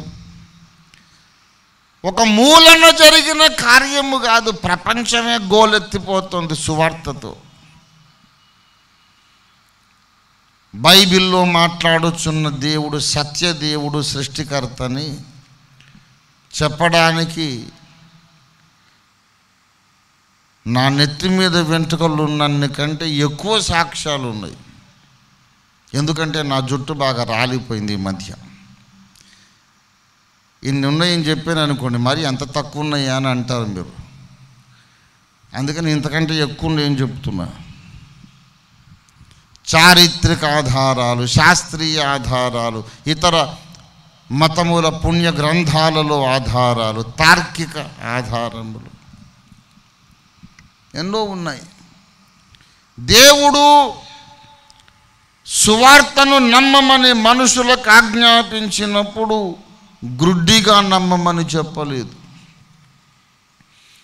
ఆధారములను చూపి ప్రమాణములను చూపి అప్పుడు చెప్పాడు నమ్మండి అని. లూకాసు వార్త మొదటి అధ్యాయము మొదటి నుండి చూడండి. ఆరంభము నుండి కన్నులారా చూచి వాక్య సేవకులైన వారు మనకు అప్పగించిన ప్రకారం మన మధ్యలో నెరవేరిన కార్యములను గూర్చి వివరముగా వ్రాయుటకు అనేకులు పూనుకున్నారు గనుక నీకు ఉపదేశింపబడ్డ ఈ సంగతులు నిశ్చయముగా జరిగినవని. వాటినన్నిటిని మొదట నుండి తరచి తరచి పరిష్కారముగా తెలుసుకున్న నేనును నీ పేరిట రచించుట యుక్తమని ఎంచి తిని బాగా ఎంక్వైరీ చేసి వెరిఫై చేసి ఇవి నిశ్చయముగా జరిగినవని నిర్ధారించుకొని రాసేట లూకా అనే డాక్టర్ గారు లూకా సువార్త. ఆయనే అపస్తుల కార్యాలు మొదటి అధ్యాయములో మూడవ వచనంలో ఇలా చెబుతున్నాడు. ఆయన అనేక ప్రమాణములను రుజువులను చూపి వారికి తన్ను తాను సజీవునిగా కనపరుచుకునను. The God of the Bible is a God who offers evidences and proofs when he wants us to believe something ఏదైనా నమ్మండి అని చెప్పినప్పుడు ఆధారాలు చూపిస్తాడు. ఇదిగో ఈ ఆధారాలను బట్టి మీరు నమ్మండి. నమ్మను అంటాం అనుకోండి. పోనీ నమ్మకపోవడానికి మీ ఆధారం ఏమిటి అని అడుగుతాడు. యషియా గ్రంథం నలభై ఒకటవ అధ్యాయం. ఇరవై ఒకటో వచ్చిన ఏషియా నలభై ఒకటి ఇరవై ఒకటి వ్యాజ్యమాడుడని యాకోబు రాజు చెప్పుచున్నాడు మీ రుజువు చూపించుడి. ఇదిగో నా రుజువు నేను చూపిస్తున్నాను. నేను దేవుణ్ణి కాదనటానికి మీ రుజువు ఎక్కడుందో చూపించాను. రుజువులు చూపే దేవుడు రుజువులు అడిగే దేవుడు. నువ్వేదన్నా చెబితే రుజువు చూపించాలి. దేవుడు చూపిస్తాడు రుజువులు. నేను చెబుతున్నా అన్ని మత గ్రంథములలో చెప్పబడిన మానవులందరూ మహర్షులు యోగులు అవతార పురుషులు అందరూ ఆదాము పిల్లలే. నువ్వు దేవుళ్ళు అనుకున్న వాళ్ళందరూ ఆదాము పిల్లలే. ఆదాము పిల్లలే. నువ్వు అనుకున్న కోట్ల సంవత్సరాల యుగ యుగాల చరిత్ర మొత్తం కాకుల లెక్క. అంతా ఒట్టిది. ప్రస్తుత మానవ జాతి చరిత్ర ఆరు వేల ఏండ్లు మాత్రమే. భూమి వయస్సు కోట్ల సంవత్సరాలు ఉంది అది వేరే సంగతి. ఇదే స్టేజ్ మీద క్రైస్తవ సభ జరుగుతుంది. స్టేజ్ ఇలా ఉంచేసి మేము వెళ్ళిపోతే రేపు ఒక రాజకీయ సభ జరగవచ్చు ఇంకో మత ప్రచారం జరగవచ్చు ఒక నాటక ప్రదర్శన జరగవచ్చు. స్టేజ్ అలాగే ఉంటుంది. భూమి అనే నాటక రంగం అలా ఉంది. ఈ గ్రహం ఉంది. ఎన్నో స్టేజీలు ఎన్నో డ్రామాలు ఆడి డ్రామా కంపెనీలు వెళ్ళిపోయాయి. లేటెస్ట్ యుగం ఆరు వేల సంవత్సరాలు. That's all not more than that అదేంటండి? కృతయుగము త్రేతాయుగము ద్వాపర యుగం కలియుగం. ఇన్ని యుగాలు చెప్పారు మన వాళ్ళు మీరు ఆరు వేల ఏళ్ళు అంటారు ఏంటండి? తప్పు. క్రైస్తవులకి ఏం తెలియదు అనుకుంటున్నారు. అవును క్రైస్తవులకి ఏం తెలుసో ఇప్పుడు నేను చెప్తా వినండి. S R Rao. అనే ఒక సముద్ర శాస్త్రజ్ఞుడు ఒక ఆయన ఉన్నాడు. పురాతత్వ శాస్త్రవేత్త. ఆయన కరడుగట్టిన భారతదేశ భక్తుడు ఆయన. ఈ అమెరికా వాళ్ళకి ఇంగ్లాండ్ వాళ్ళకి వీళ్ళకి అసలు ఏమీ తెలిసి చావదు. జ్ఞానవంతం మా దగ్గర ఉంది. దౌర్భాగ్యులు వీళ్ళు వచ్చి వాళ్ళ మతాన్ని మా దేశంలో ప్రచారం చేసి దేశాన్ని నాశనం చేస్తున్నారు. గనుక మా పురాణాల్లో చెప్పబడినటువంటి కథనం చారిత్రక వాస్తవం అని నిరూపిస్తానని పూనుకున్నారు S R Rao. Google search చేయండి. ఎస్ఆర్ రావు అని కొట్టగానే మీకు ఆప్షన్స్ వచ్చేస్తాయి. నేను ఏది చెప్పినా వెరిఫైయబుల్ అయితేనే చెప్తా లేకపోతే చెప్పను. నా కళ్ళతో నేను చూసింది అయితే చెప్తాను. ఆయన మహాభారతాన్ని చదివి మహాభారతం చివరన ద్వాపర యుగం అంతమైనప్పుడు శ్రీకృష్ణుల వారు ద్వారక అనే కొత్త నగరాన్ని కట్టాడు. ఆ ద్వారకా నగరం యొక్క కొలతలు ఇలాగున్నవి గోడలు ఇంత మందం ఉన్నాయి అడ్డం ఇంత ఇన్ని మైళ్ళు విస్తీర్ణం పొడగిన్ని మైళ్ళు రాజభవనాలు ఇలాగ ఉన్నాయి మధ్యలో వీధులు ఇలాగ ఉన్నాయి స్నానశాలలు ఉన్నాయి నాటకశాలలు వినోద శాలలు అన్నీ ఉన్నాయి. రాజభవనము అడ్మినిస్ట్రేటివ్ బిల్డింగ్స్ అన్నీ వివరంగా రాశారు మహాభారతం చివరి భాగంలో వేదవ్యాసుల వారు. ఆ కొలతలన్నీ రాసుకున్నాడు. గుజరాత్ ప్రక్కన దాదాపుగా లొకేషన్ అక్కడ ఉంది ద్వారకా నగరి అని తెలుసుకున్నారు. ఆయన ముప్పై నలభై సంవత్సరాలు కష్టపడి సముద్రంలో వెదికి వెదికి వెదికి పట్టుకున్నారు. ద్వారక దొరికింది. ఇరవై సంవత్సరాల కిందట దొరికింది ద్వారక. గుజరాత్ ప్రక్కన సముద్ర గర్భంలో ద్వారకా నగరం దొరికింది. ఎగ్జాక్ట్గా వేదవ్యాసుల వారు మహాభారతంలో రాసిన కొలతల ప్రకారమే ఉంది ఆ నగరం. ఇన్ని మైళ్ళ పొడగు ఇన్ని మైళ్ళ వెడల్పు ఇంత మందము గోడలు భవనాలు నాటకశాలలు మొత్తం ఉన్నాయి. ఎగిరి గంతేశారు ఎస్ఆర్ రావు గారు. ఇంకే? ఈ క్రైస్తవులు చెప్పిందంతా ట్రాష్ అని నిరూపించవచ్చు ఇదిగో ద్వారకా నగరి దొరికింది ద్వాపర యుగంలోని నగరం అని ఆ ఇటుక రాళ్ళు తీసి రేడియో కార్బన్ డేటింగ్ కొరకు ల్యాబ్కి పంపించారు. కాకతీయుల కాలం నాటి నాణేలు గుప్తరాజుల కాలం నాటి నాణేలు కుండ పెంకులు. ఇత్యాది వస్తువులు దొరికినప్పుడు ఏజ్ నిర్ణయించడానికి రేడియో కార్బన్ డేటింగ్ సిస్టమ్ అనే దాన్ని శాస్త్రజ్ఞులు అమలు చేస్తారు. విశ్వంలో అంతటా కార్బన్ ఎక్కడైనా ఉంటుంది దాంట్లో ఎనర్జీ రేడియేట్ అవుతూ ఉంటుంది. కార్బన్లోని పవర్ రేడియేట్ అయి ఖర్చు అయిపోతూ ఉంటుండగా ఒక వస్తువు తయారైనప్పుడు దాంట్లో ఎంత కర్బనం ఉంది ఇప్పుడు ఎంత ఖర్చు అయిపోయింది ఇంకెంత మిగిలి ఉంది అనే కొలతల ప్రకారం ఈ వస్తువుకు ఇన్ని వేల సంవత్సరాలు అని నిర్ణయిస్తారు. దీన్ని రేడియో కార్బన్ డేటింగ్ మెథడ్ అంటారు. ఎస్ఆర్ రావు గారు ద్వాపర యుగం కథ చారిత్రక వాస్తవం అని నిరూపించగలనని ఆనందపడిపోయి ల్యాబ్కు పంపించారు ఇటుకరాళ్ళు ద్వారకా నగర్ ఇటుకరాళ్ళు. వాళ్ళు చెప్పారు అయ్యో బాబోయ్! ఇటుకరాళ్ళు ఇప్పటివి కాదండి చాలా ప్రాచీనమైనవండి. ఇది క్రీస్తు పూర్వం ఐదు వందల ఏళ్ళ నాటి రాళ్ళు అని చెప్పారు.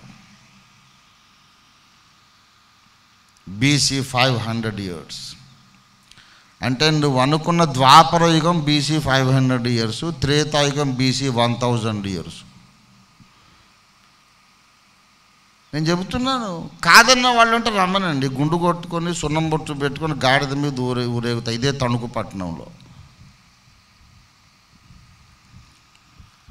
క్రీస్తు పూర్వం వెయ్యేళ్ళ నాడు ఉత్తరప్రదేశ్లో ఉన్నటువంటి అయోధ్య నగరాన్ని ఇక్ష్వాకు వంశపు రాజులు పరిపాలించారు.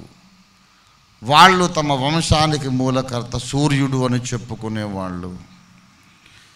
మాది సూర్యవంశం అని చెప్పుకునేవాళ్ళు. వాళ్ళు ఏలిన కాలం బీసీ వన్ థౌజండ్ ఇయర్స్ అంటే నువ్వు త్రేతాయుగం అనుకున్నదేమో.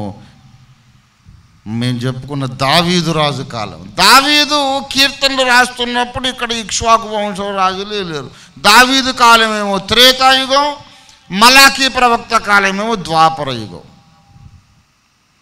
ఎక్కడుందండి కోట్ల సంవత్సరాల చరిత్ర? క్రైస్తవులకు ఏం తెలుసండి? మేము కదా మేధావులం అనుకున్న వాళ్ళకు చెబుతున్నా. నువ్వు ఎక్కి తిరిగే కారు క్రైస్తవులు చేసింది ఫ్లైట్ క్రైస్తవులు చేసింది ఓడలు క్రైస్తవులు చేసింది. నువ్వు చేసింది ఏం లేదు ఇడ్లీ సాంబార్ తప్ప.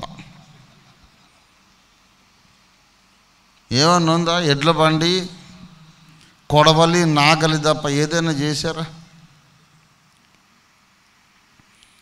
ప్రపంచ వాణిజ్యము ప్రపంచంలోని సైనిక శక్తి ప్రపంచంలోని శాస్త్రీయ విజ్ఞానం క్రైస్తవుని గుప్పిట్లో ఉంది. క్రైస్తవుడు ప్రపంచాన్ని నడిపిస్తున్నాడు శాసిస్తున్నాడు. మీకు ఇష్టం ఉన్నా లేకపోయినా వరల్డ్ బ్యాంక్ ముందు మోకరించి నువ్వు భిక్ష అడిగినప్పుడు అక్కడ ఆఫీసర్ సీటు మీద సిలువ గుర్తు పెట్టుకొని ఉంటాడు. దేవునికి స్తోత్రం కలుగునుగాక. గాక మైనారిటీ మైనారిటీ అని అనుకుంటున్నారు. బాబు ప్రపంచం స్థాయిలో చూస్తే నువ్వే మైనారిటీ క్రైస్తవులే మెజారిటీ. దేవుని స్తోత్రం కలుగునుగాక. క్రైస్తవులను కొంతమందిని కొట్టి చంపితే ఏదో అవుద్దని. ఏమైంది చెప్పండి? గ్రాహం స్టెన్స్ గారిని చంపారు. ఏమైంది? క్రైస్తవులందరూ భయపడి నోరు మూసుకొని ఉన్నారా? ఆ తర్వాత కొన్ని కోట్ల మంది రక్షణ పొందారు. దేవునికి స్తోత్రం కలుగునుగాక. గాక క్రీస్తు సువార్తను అడ్డగించడం ఎవడి తరం కాదు. ఎక్కువ మాట్లాడితే మీ ఇంట్లో వాళ్ళే బాప్తిస్మాలు పొందుతారు. జాగ్రత్త. ఎవరు ఎక్కువ వీరంగాలు చేసి కుప్పికంతులు వేస్తాడో వాడి ఇంట్లో వాళ్ళే బా మారు మనసు పొంది బాప్తిస్మాలు పొంది కుటుంబ ప్రార్థన మొదలు పెడతారు. దేవుని స్తోత్రం కలుగును కాక అరుణాచల్ ప్రదేశ్. అరుణాచల్ ప్రదేశ్లో యాంటీ కన్వర్షన్ బిల్ తెచ్చారు. జనతా ప్రభుత్వ హయాంలో ఓం ప్రకాష్ త్యాగి ఓపి త్యాగి అనే పార్లమెంటేరియన్ యాంటీ కన్వర్షన్ బిల్ పార్లమెంట్లో పెడదామని చూశారు. నీలం సంజీవ్ రెడ్డి గారు ఒప్పుకోలే. అప్పుడు రాష్ట్రపతిగా ఉన్నారు సంజీవ్ రెడ్డి గారు. దేశ ప్రజలందరి యొక్క అభిప్రాయ సేకరణ కొరకు అడిగాడు. కొన్ని కోట్ల మంది కార్డు ముక్కల మీద సంతకం పెట్టి పంపించారు. I oppose the anti conversion bill I oppose the anti conversion bill అని. ఇన్ని కోట్ల మంది వ్యతిరేకం కాబట్టి నేను దీని సంతకం చేయను అన్నారు రాష్ట్రపతి గారు. పార్లమెంట్లో రెండోసారి పాస్ చేశారు ఆ బిల్లును. చేయబోతున్నారు ఇక. రాజ్యాంగంలో ఉన్న రూల్ ఏంటంటే ఒకసారి పార్లమెంట్ పాస్ చేసిన బిల్లు రాష్ట్రపతి ఆమోద ముద్ర వేస్తే చట్టమైపోతుంది రాష్ట్రపతి ఆమోద ముద్ర వేయనని తిప్పి పంపితే రెండవసారి పార్లమెంట్ ఆమోదిస్తే చచ్చినట్టు అది చట్టమైపోతుంది జనతా ప్రభుత్వం అందులో అంత క్రీస్తు వ్యతిరేకులు ఉన్నారు. రాష్ట్రపతి బిల్లు వెనక్కి తిప్పి పంపాడు. అయినా సరే రెండోసారి మేము ఆమోదింపజేస్తామని పూనుకున్నారు. పేక మేడలాగా జనతా ప్రభుత్వం కూలిపోయింది. ఇందుకే క్రైస్తవులతో పెట్టుకుంటే కొరువు పెట్టి గోక్కున్నట్టే. మళ్ళీ గోక్కోటానికి ఏమి ఉండదు నీ గుండు తప్ప. దురద పెడితే మామూలుగా గోక్కోవాలి అంతే కొరివి పెట్టి గోక్కోకూడదు. సరే కూలిపోయిన తర్వాత కింద పడ్డ మీది కాలు నాదే అన్నట్టు ఏం లాభం? రావుడు కింద పడిపోయాడు. అయినా నేను గొప్ప అని చెప్పుకోవాలి. మీకు అందరికి కాళ్ళు కింద ఉన్నాయి. నాకు చూడు కాళ్ళు పైకి ఎత్తాను చూడడం అట్ట ఏదో వాడు గొప్ప చూపెట్టుకోవడానికి. వీళ్ళు ఏం చేశారంటే రాజ్యాంగంలో ఒక వెసులుబాటు ఉంది. ఈ యాంటీ కన్వర్షన్ బిల్లు లాంటి చట్టాలు రాష్ట్రం లెవెల్లో చేసుకోవచ్చు. ఏ రాష్ట్రానికి ఆ రాష్ట్రం చేసుకోవచ్చు? రాజ్యాంగం సెలవిచ్చింది. కాబట్టి ప్రయోగాత్మకంగా చేసి చూద్దామని అరుణాచల్ ప్రదేశ్లో యాంటీ కన్వర్షన్ బిల్ చేశారు. ముప్పై సంవత్సరాలు అయింది ఇప్పుడు. Anti conversion bill Arunachal Pradesh అసెంబ్లీలో చట్టము తయారైంది. ఆనాడు ఆ రాష్ట్ర జనాభాలో పదిహేను శాతము మంది క్రైస్తవులు ఉన్నారు. దేశం మొత్తం మీద టూ పర్సెంట్ క్రిస్టియన్స్ అరుణాచల్ ప్రదేశ్లో ఫిఫ్టీన్ పర్సెంట్ క్రిస్టియన్స్ అప్పుడు థర్టీ ఇయర్స్ బ్యాక్ ఇప్పుడు మతాంతరీకరణ వ్యతిరేక బిల్లు మతం మార్పిడి వ్యతిరేక బిల్లు అరుణాచల్ ప్రదేశ్లో అమలులోనికి వచ్చి ముప్పై ఏండ్లైన తరువాత ఆ రాష్ట్ర జనాభాలో ఎనభై ఐదు శాతం మంది క్రైస్తవులు. ఏం చేశారండి? నేను అడుగుతున్నాను. ఏం చేయగలిగారు? క్రైస్తవులను కొట్టి చంపి ఏదో చేస్తే ఇంకా రెచ్చిపోతా జాగ్రత్త. సింహాలు నిద్రపోతున్నాయి. అనవసరంగా వచ్చి వాటి మూతి మీసాలు పీకకండి. సింహం లేచిందంటే మీకే ఇబ్బంది. ఏం చేయలేరు? క్రీస్తు సువార్త దేవుని శక్తి. నశించు వారికి నీ సిలువా వెర్రితనముగనున్నది నశించు వారికి నీ సిలువా వెర్రితనముగనున్నది రక్షింపబడుచున్న పాపికి దేవుని శక్తి అయ్యున్నది రక్షింపబడుచున్న పాపికి దేవుని శక్తి అయ్యున్నది నీ రక్తమే నీ రక్తమే నన్ను శుద్ధీకరించు నీ రక్తమే నా బలము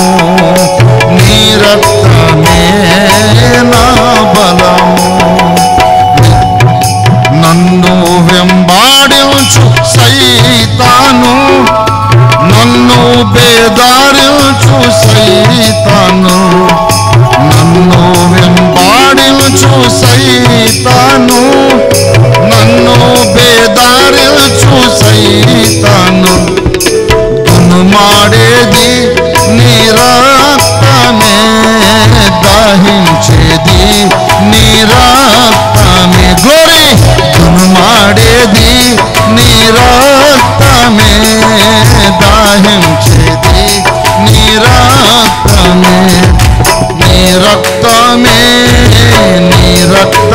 రక్తమే నం శుద్ధీకరించు నీ రక్తమే. నా బలము నీ రక్తమే. నా బలము. ప్రభునందు నాకు చింత ప్రియులారా సత్యాన్వేషకులారా క్రీస్తు సువార్త బెదరింపులతో నీవు ఆపగలిగేది కాదు. ఎందుకనగా సువార్తకు నిరూపణలు ఉన్నవి అందుకే ఎస్ఆర్ రావు గారి ఉదంతం చెప్పాను.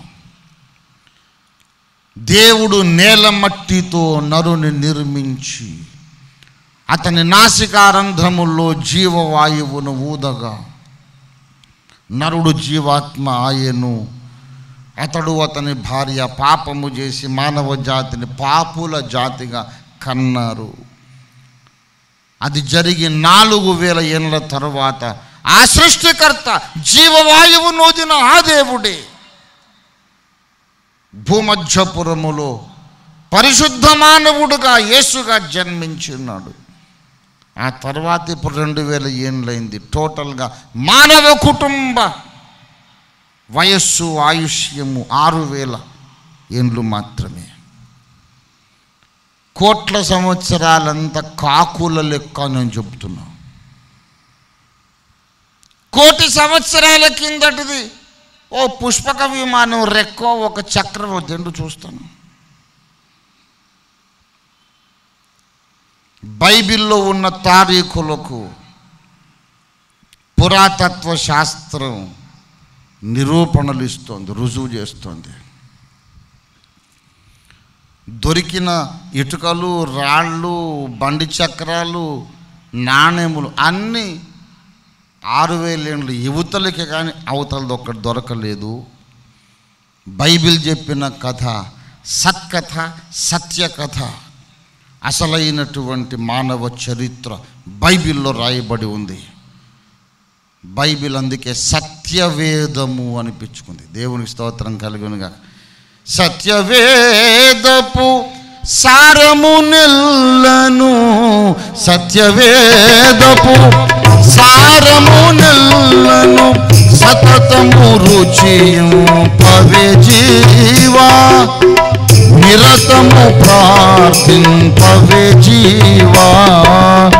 జీవమనీవిక లేవవే యేసుని సేవను చేయగా లేవే జీవమునుందగాలేవే ప్రభునందు ప్రిలారా మనిషి ఎలా పుట్టాడు? ఓ మంది చాలా సత్యం ఉందండి. మనిషి ఎలా పుట్టాడంటే బ్రాహ్మడేమో దేవుడు తరలోంచి పుట్టాడు. అరే మనిషి ఎలా పుట్టాడంటారు బ్రాహ్మడు అంటావేంటి అవునండి. మానవులు అంటే ఏంటి? బ్రాహ్మణ క్షత్రియ వైశ్య శూద్ర చాతుర్వర్ణ సమాజం. బ్రహ్మశిరస్సున బ్రాహ్మడు పుట్టాడు భుజాల్లో నుండి క్షత్రియుడు పుట్టాడు ఉదరములో నుండి వైశ్యుడు పుట్టాడు పాదాల్లో నుండి శూద్రుడు పుట్టాడు. ఇలాగ మానవ జాత ఆవిర్భవించింది. అవును మరి పంచములు ఎలా పుట్టారు? నువ్వు తల నుంచి అరకాల దాకా లెక్క చెప్పేశావు. మరి మాలలు మాదిగలని ఐదో జాతి ఉందిగా. వాళ్ళు ఎక్కడి నుంచి పుట్టారు? అంటే అదేదో మనకు తెలియదులేండి మరి నీకు తెలీదు మరి ఏదో తెలిసినట్టు జగద్గురువు అని అభయహస్తం పట్టు కూర్చున్నావు గోచి పెట్టుకొని.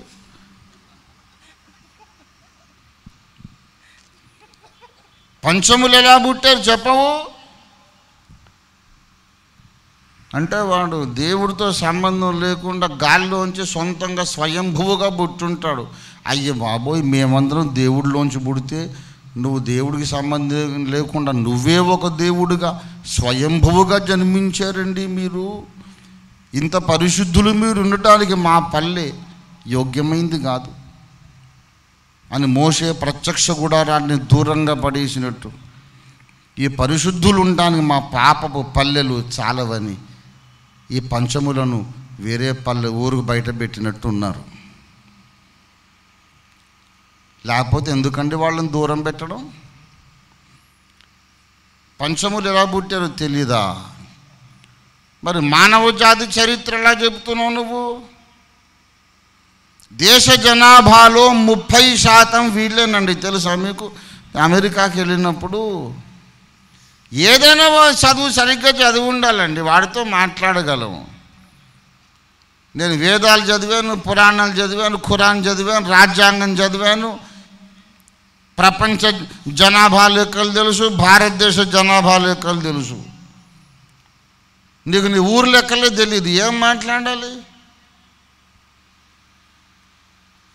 భారతదేశ జనాభాలో అంటరాని వాళ్ళుగా ఎంచబడ్డ వాళ్ళు మాలలు మాదిగలు ముప్పై మూడు శాతము. దేశ జనాభాలో మూడవ భాగం మూడవ భాగం కన్సిడర్ టు బి అన్టచబుల్స్ నేను అమెరికాకి వెళ్ళినప్పుడు ఒక దైవజనుడు వచ్చాడు నా ప్రార్థనా గదికి. Pastor I want to know something about your country I hear that there is untouchability still being practised in your country what is the truth about that Google search చేసి చూపించాను ఆయనకు thirty three percent of Indian population are Malas and Madigas ఆయన ఏమన్నాడు తెలుసా thirty three percent of the country population are untouchables What kind of un untouchable country is this అన్నాడు. దేశ జనాభాలో దాదాపు సగం మంది అంటరాని వాళ్ళ. ఏ అంటరాని దేశం రాని ఇదన్నాడు మేరా భారత్ మహాన్ అని ఇతర దేశాలందరూ జేజేలు కొట్టేటట్టుగా మన దేశాన్ని మనం సంస్కరించుకోవాలి.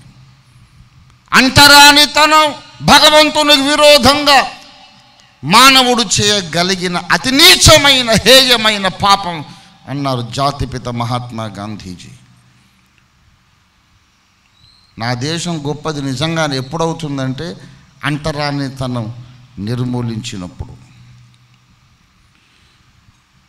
అవును మానవ జాతి ఎలా పుట్టిందంటే తలకాయలోంచి బ్రాహ్మణుడు కాళ్ళలోంచి శూద్రుడు అంట ఏంటి? మరి చైనా వాడు ఎక్కడి నుంచి పుట్టాడు? వాడి సంగతి చెప్ప నా ఐడియా వాడు శంకర్లోంచి పుట్టుంటాడు.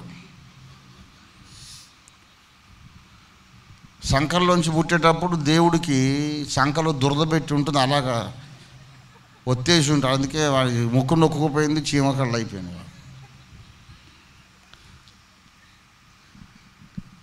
జాపానుడు ఎక్కడి నుంచి వచ్చాడో? దేవుడు జబ్బల్లోంచి పుట్టుంటాడు.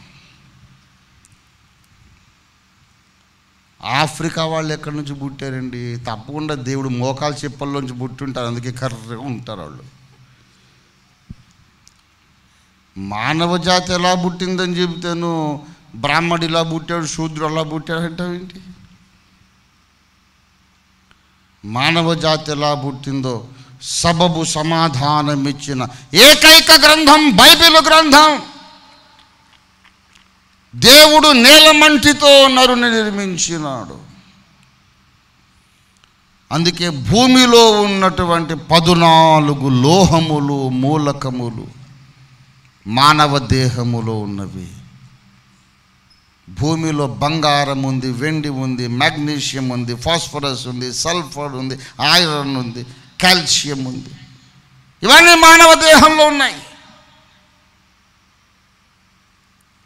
మట్టిలో నుండి మానవ దేహం నిర్మించబడింది గనక భూమిలో ఉండే పద్నాలుగు లోహములు మానవ దేహంలో ఉన్నాయి.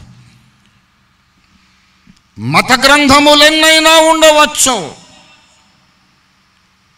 కానీ శాస్త్రీయ నిరూపణలతో కూడినటువంటి కథనం కేవలం పరిశుద్ధ బైబిల్ గ్రంథంలో మాత్రమే ఉంది. బైబిల్ గ్రంథం అందుకే ప్రపంచాన్ని ప్రభావితం చేస్తోంది. బైబిల్ ఎక్కడ వేరే గ్రంథాలు ఎక్కడండి? ఇది సర్వోత్కృష్టమైన గ్రంథం. ఓసారి అన్ని మతాల నాయకుల సమావేశం జరిగింది సమ్మేళనం. ఆయా మత గ్రంథముల యొక్క ప్రాశస్త్యాన్ని వాళ్ళు వాళ్ళు వివరించుకోవాలని ఒక మీటింగ్ పెట్టించారు. అన్ని మతాల నాయకులు వచ్చారు. క్రైస్తవ నాయకుడు మాత్రం అలవాటు ప్రకారం లేటుగా పోయాడు ఆ కూటానికి. మన వాళ్ళు ఎప్పుడు లేటే కదా. కాబట్టి ఆ మీటింగ్ కూడా అయ్యగారు లేట్ వెళ్ళాడు. ఆయన ఆయన వచ్చే లోపల వీళ్ళందరూ కలిసి గూడుపుటాన్ని చేశారు. ఈ క్రైస్తవులు పెద్ద మేమే మేధావులమని చెప్పుకుంటారు. మనమందరం ఒకటై వాడు గాలి తీయాలని అనుకున్నారు ఆయన గారు వచ్చే లోపల బైబిల్ని అట్టడుగున పెట్టేసి పైన అన్ని మత గ్రంథాలు పెట్టారు. అయ్యగారు వచ్చారు దాన్ని చూడట్లేదు ఆయన. బుర్రలో ఉన్న మ్యాటర్ మీద ఆయనకు దృష్టి ఉంది తప్ప బైబిల్ ఎక్కడుందో చూడట్లేదు. ఏమండి పాస్టర్ గారు? ఏంటి వచ్చేంత కులసానా? చాలా సంతోషం. రండి రండి మహానుభావులు అని వెటకారం చేసి మీ మత గ్రంథం యొక్క స్థానం ఏంటో చూసారా ఎక్కడ పెట్టామో చూడు అడుగునా. అది నీ లెవెలు. ఇప్పుడు ఏమంటావు చెప్పు అన్నారు. ఆయన తన్మయుడయి పరవశించి ఆహా ఎంత అద్భుతమైన దృశ్యం ఇది. మీరందరూ ఎంత మేధావులండి. నా గ్రంథానికి సముచిత స్థానం కల్పించినారు. నా బైబిల్ గ్రంథానికి మీరిచ్చిన స్థానము చూస్తే నేను ఆనందభరితున్నైపోయి ఆనందం తట్టుకోలేకపోతున్నానండి. ఆహా ఓహో అన్నాడు. వీడు తప్పకుండా మెంటలు వచ్చేసి ఉంటుందండి. అడుగున పారేస్తే వాడేదో ఆనందభరితుడైపోతున్నాడు ఏమిటండి? చత్వారంగానే వచ్చిందో కళ్ళజోడు పెట్టుకుని చూడు సరిగా ఎక్కడుందో నీ గ్రంథం. అబ్బాయి కళ్ళజోడు ఎక్కర్లేదండి. నా గ్రంథం నా దైవ దైవ గ్రంథం ఎక్కడుందో చూస్తున్నాను. చాలా మంచి స్థానం ఇచ్చారు. చాలా ఘనపరిచేశారు మమ్మల్ని అన్నాడు. ఏమిటి కనపరచడం ఎలా కనపరచాం చెప్పు? అంటే మహానుభావులారా మీరు నా దైవ గ్రంథములు పెట్టిన చోటు చూడగా సకల మతములకు అది పునాది వలె కనబడుచున్నది అన్నాడు వీడు కంగు తిన్నారు. అయ్య బాబు వీడు సామాన్యుడు కాదురా బాబు. ఎదురు దెబ్బ బలే కొట్టాడు. సరే ఇప్పుడు చూద్దాం. పునాదిలాగా ఉంది నీ గ్రంథం. ఇప్పుడేమంటావు చూద్దాం. అని చెప్పి అడుగు నుండి తీసి అన్నిటికంటే టాప్లో పెట్టాడు. ఇప్పుడు చెప్పు ఎలా ఉంది? అన్నారు ఆహా ఇంకా అద్భుతముగా ఉన్నది. ఇంకా నా మనస్సు ఆనందభరితం అయిపోయిందంటే ఎందుకైంది? ఇప్పుడు ఎందుకు ఆనందమైంది బాబు? మీరు బైబిల్ గ్రంథము నుంచిన స్థానము చూడగా ప్రపంచములోని వేదాంతం అంతటికి మత గ్రంథములన్నిటికీ అది కిరీటము వలె ప్రకాశించుచున్నది అన్నాడు. వీడికి బాగా పిచ్చి ముదిరింది కింద ఉంటే పునాది అన్నాడు పైరుంటే కిరీటం అన్నాడు. ఎటు కాకుండా చేద్దాం వీడిని అది తీసుకెళ్ళి దాన్ని సెంటర్లో పెట్టారు ఇప్పుడు చెప్పావంటావు. ఆహా ఎంత మేధావులండి మీరు. నిజంగా బైబిల్ గ్రంథాన్ని మీరు గౌరవించినంత ఎవ్వరు ఎన్నడూ గౌరవించక నేను చూడలేదండి. నా మనస్సు ఆనందం పట్టలేకపోతుందండి. ఎంత బాగుంది ఆ చోటు చూస్తే. అబ్బో అబ్బో మీరు చాలా మహానుభావులండి. బైబిల్ గ్రంథ విలువ మీరు బాగా గ్రహించేశారండి అంటున్నాడు.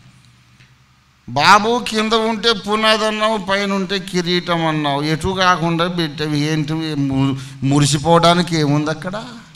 సంతోషపడడానికి ఏముంది అబ్బెబ్బెబ్బే మీరు చూడండి. ఆ గ్రంథము ఉన్న స్థానము చూడగా సూర్యుని చుట్టూ గ్రహములన్నీ తిరిగినట్టు ప్రపంచ మతములన్నీ నా దైవ గ్రంథము చుట్టే పరిభ్రమించుచున్నట్టుగా కనబడుతోంది. ప్రపంచ వేదాంత సిద్ధాంతములన్నిటికీ బైబిల్ కేంద్ర స్థానములో ఉన్నట్టుగా కనబడుతుంది. అన్నాడు.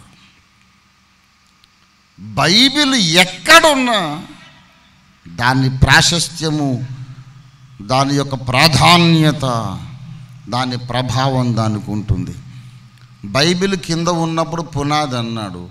బైబిల్ తీసేసి మధ్యలో పెట్టారు పైన పెట్టారు. అడుగున ఏదో ఒక గ్రంథం ఉందిగా? దాన్ని పునాది అంటానికి ఎవరికి ధైర్యము కానీ సత్తా కానీ కనీసం అలా అందామని అవుడియా కూడా రాలే. ఏం బాబు మరి బైబిల్ తీసేసాం కిందో గ్రంథం ఉంది. అదే పునాది అనుకోవచ్చుగా అనలేదు ఎవడు ఎందుకంటే అట్లాంటి టైటిల్స్ పెట్టుకోవడానికి అవసరమైన సమాచారం బైబిల్లో మాత్రమే ఉంటుంది. దేవునికి స్తోత్రం కలుగును గాక. ఏదన్నా గ్రంథం ఉండి ఇది పునాది అన్నాడు అనుకోండి వాణి పీక పట్టుకుంటాం. మానవ జాతి ఎలా పుట్టిందో చెప్పు అని. నాకు తెలియదంటే మరి నోరు మూసుకో. ఏంటి పునాది? నీ పుట్టుక నీకు తెలీదు పునాది నువ్వు ఎదురు ప్రశ్నకు నిలిచే ఏకైక గ్రంథం పరిశుద్ధ బైబిల్ గ్రంథం. దేవునికి స్తోత్రం కలుగును హలెలుయో లోకంబునందు లోకస్తులెల్ల నాకంబు చేరుటకు ఆ లోకంబునందు లోకస్తులెల్ల నాకంబు చేరుటకు సుఖతరమౌ సుమార్గమిదే యేసుం భజించుటయే సుఖతరమౌ సుమార్గమిదే యేసుం భజించుటయే ఈ యేసు గదా వాక్యం ఈ యేసు గదా మార్గం ఈయేసే గదా వాక్యం ఈయేసే గదా మార్గం మహిమాన్వితుడవు ప్రభుని బహుశ్రేష్టము వాక్యమును పరిపూర్ణ హృదయములతో హరయంతయు వినవలెను స్తోత్రంబు తండ్రి స్తోత్రంబు వాక్యం స్తోత్రంబు మాయసయ్యా ఆ స్తోత్రంబు తండ్రి స్తోత్రంబు వాక్యం స్తోత్రంబు మాయసయ్యా ఆదిని ఇప్పుడెల్లప్పుడు స్తోత్రంబు మీకగును ఆదిని ఎప్పుడెల్లప్పుడు స్తోత్రంబు మీకగును పరభూలోకములందు స్థిరమౌనుగ స్తోత్రములు పరభూలోకములందు స్థిరమౌనుగ స్తోత్రములు మహిమాన్వితుడవు ప్రభుని. వాక్యము మా తాతగారు రెవరెన్ కేవి జేకబ్ గారు మా మాతామహులు గొప్ప కవి పండితుడు బైబిల్ అధ్యాపకుడు Ramapatnam Bible సెమినరీలో teacher. Nalgonda mission school head master. Gurram Jashuva గారికి గురువు ఆయన. అంత మహాకవి. ఆయన ఎప్పుడు చంకలో బైబిల్ లేకుండా ఎక్కడికి వెళ్ళడు. స్కూల్కి వెళ్ళడు మార్కెట్కి వెళ్ళడు ఎక్కడికి వెళ్ళడు. చేతిలో బైబిల్ ఉండాల్సిందే. ఆ రోజుల్లో షిప్ మీద ప్రయాణించి లండన్కి వెళ్ళి చదువుకొని వచ్చిన ఒక పెద్ద ప్రొఫెసర్ ఉండేవాడు. నాస్తికుడు. దేవుడు లేడనేవాడు. ఒకసారి ఆయన తాత దగ్గరకు వచ్చి అన్నాడు O mister Jacob I see that you believe in that book that Bible. Jacob గారు ఎప్పుడు బైబిల్ చంకలో పెట్టుకు తిరుగుతున్నారు. బైబిల్ని మీరు నమ్ముతున్నారు అనుకుంటా కదా నేను. అంటే అవును నమ్ముతున్నాను అన్నాడు do you know that there is no such great thing nothing great about that Bible you know I can write another Bible ఇంకో బైబిల్ నేను రాస్తాను. రాయగలను. అదేం పెద్ద గొప్ప కాదన్నాడు ఆహా అలాగా? ఎలా రాస్తావు బాబు? అంటే ఏముంది? ఆది ఎందు దేవుడు ఆకాశములు భూమిని సృజించడు ఇలాగ ఇలా జరిగినని రాశారు ఎవరు. అలా కాదు నేను ఇంకో విధంగా రాస్తాను ఆది ఎందు ఇలా ఇలా జరిగిందని నేను ఒక కథ రాస్తాను దట్ బికమ్స్ ఎ బైబిల్ ఏం పెద్ద అందులో ఏం గొప్పతనం ఉంది అన్నాడు మా తాతయ్య అన్నారు mister Williams I know you are so capable you are a wise brilliant intelligent man I know you can write another Bible but which fool will read it అన్నాడు which fool will read it రాసి అయితే చూడరా ఏ బుద్ధిహీనుడు చదువుతాడు నీ Bible? రాసి చూడు. Gutenberg జర్మనీలో అచ్చు యంత్రము ప్రింటింగ్ మెషిన్ కనిపెట్టిన మొదటి రోజు మొదలుకొని ఈనాటి వరకు ప్రతి సంవత్సరం ముద్రణ చేయబడుతున్న గ్రంథాల స్టాటిస్టిక్స్ ఉన్నాయి. Every year for the last five hundred years అత్యధికముగా ముద్రణ చేయబడి అమ్మబడిన గ్రంథం పరిశుద్ధ బైబిల్ గ్రంథం. ఈ నవలలు డిటెక్టివ్ నవలలు సోషల్ నవలలు చెత్త పుస్తకాలు అన్నీ అమ్ముడుపోయిన దానికంటే ఎక్కువ బైబిల్ అమ్ముడుపోతుంది. దేవునికి స్తోత్రం కలుగును గాక. బైబిల్తో పెట్టుకోవద్దు అసలు. దాన్ని పట్టుకునే హక్కే మనకు లేదు. బైబిల్ మోసుకు తిరిగే యోగ్యతే మనకు లేదు. బైబిల్ అసమానమైన గ్రంథం. బైబిల్లో చెప్పబడిన చరిత్రకు బయాలజీ జువాలజీ పేలెంటాలజీ ఆస్ట్రానమీ అన్ని శాస్త్రాలు బైబిల్ని నిరూపిస్తున్నాయి. Astronomy even astrology even palmistry proves the Bible genetic science proves the Bible జన్యు శాస్త్రం అనేది ఉంది తెలుసా మీకు? దేవుడు లేడని చెప్పే నాస్తికులందరూ కలిసి ఐదు ఖండములలోని సకల మానవ జాతుల రక్తాన్ని సేకరించి అందులో నుంచి వాళ్ళ యొక్క జెనెటిక్ కోడ్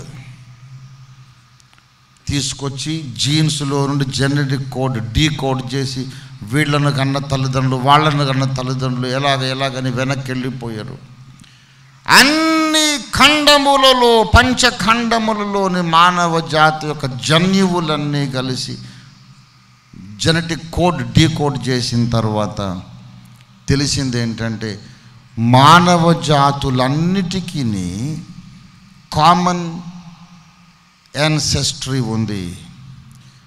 ఒకే జంట మొట్టమొదట ఒక భార్యాభర్త ఒక జంట ఉండేవాళ్ళు. ఆ ఇద్దరిలో నుండే ప్రపంచ మానవ జాతులన్నీ పుట్టినాయని జెనెటిక్ సైన్స్ నిరూపించింది. వాళ్ళ పేరే ఆదామహవ్వలని బైబిల్ చెబుతోంది. దేవుడు ఒకనిలో నుండి ప్రతి జాతి మనుషులను నిర్మించను. అందులో మన బ్రాహ్మణ క్షత్రియ శూద్రే కాదు. Japan Germany France America UK Australia Africa India Arabs అందరి రక్తం కలిపి చూస్తే వీళ్ళందరూ ఆదామహవల పిల్లలని జెనెటిక్ సైన్స్ నిరూపించింది. గూగుల్ సెర్చ్ చేయండి. Common ancestry of human races genetic science proofs the common ancestry మీరు ఇందులో ఏది కొట్టినా సరే ఆప్షన్స్ ఆటోమేటిక్గా వస్తూ ఉంటాయి. బైబిల్ చెప్పింది అది మట్టిలో నుండి. ఒక ఆయన సినిమాకి ఒక ఆయన పాట రాశాడు. మనిషిని బ్రహ్మయ్య మట్టితో చేశాడని. ఎవరు చెప్పారు బాబు నీకు? బైబిల్ చెప్పింది. సినీ కవులు కూడా బైబిల్ వాడుకుంటున్నారు. రాజకీయ నాయకులు బైబిల్ వాడుకుంటున్నారు. మళ్ళీ మతం మార్పిడి వ్యతిరేక బిల్లు తెస్తారట.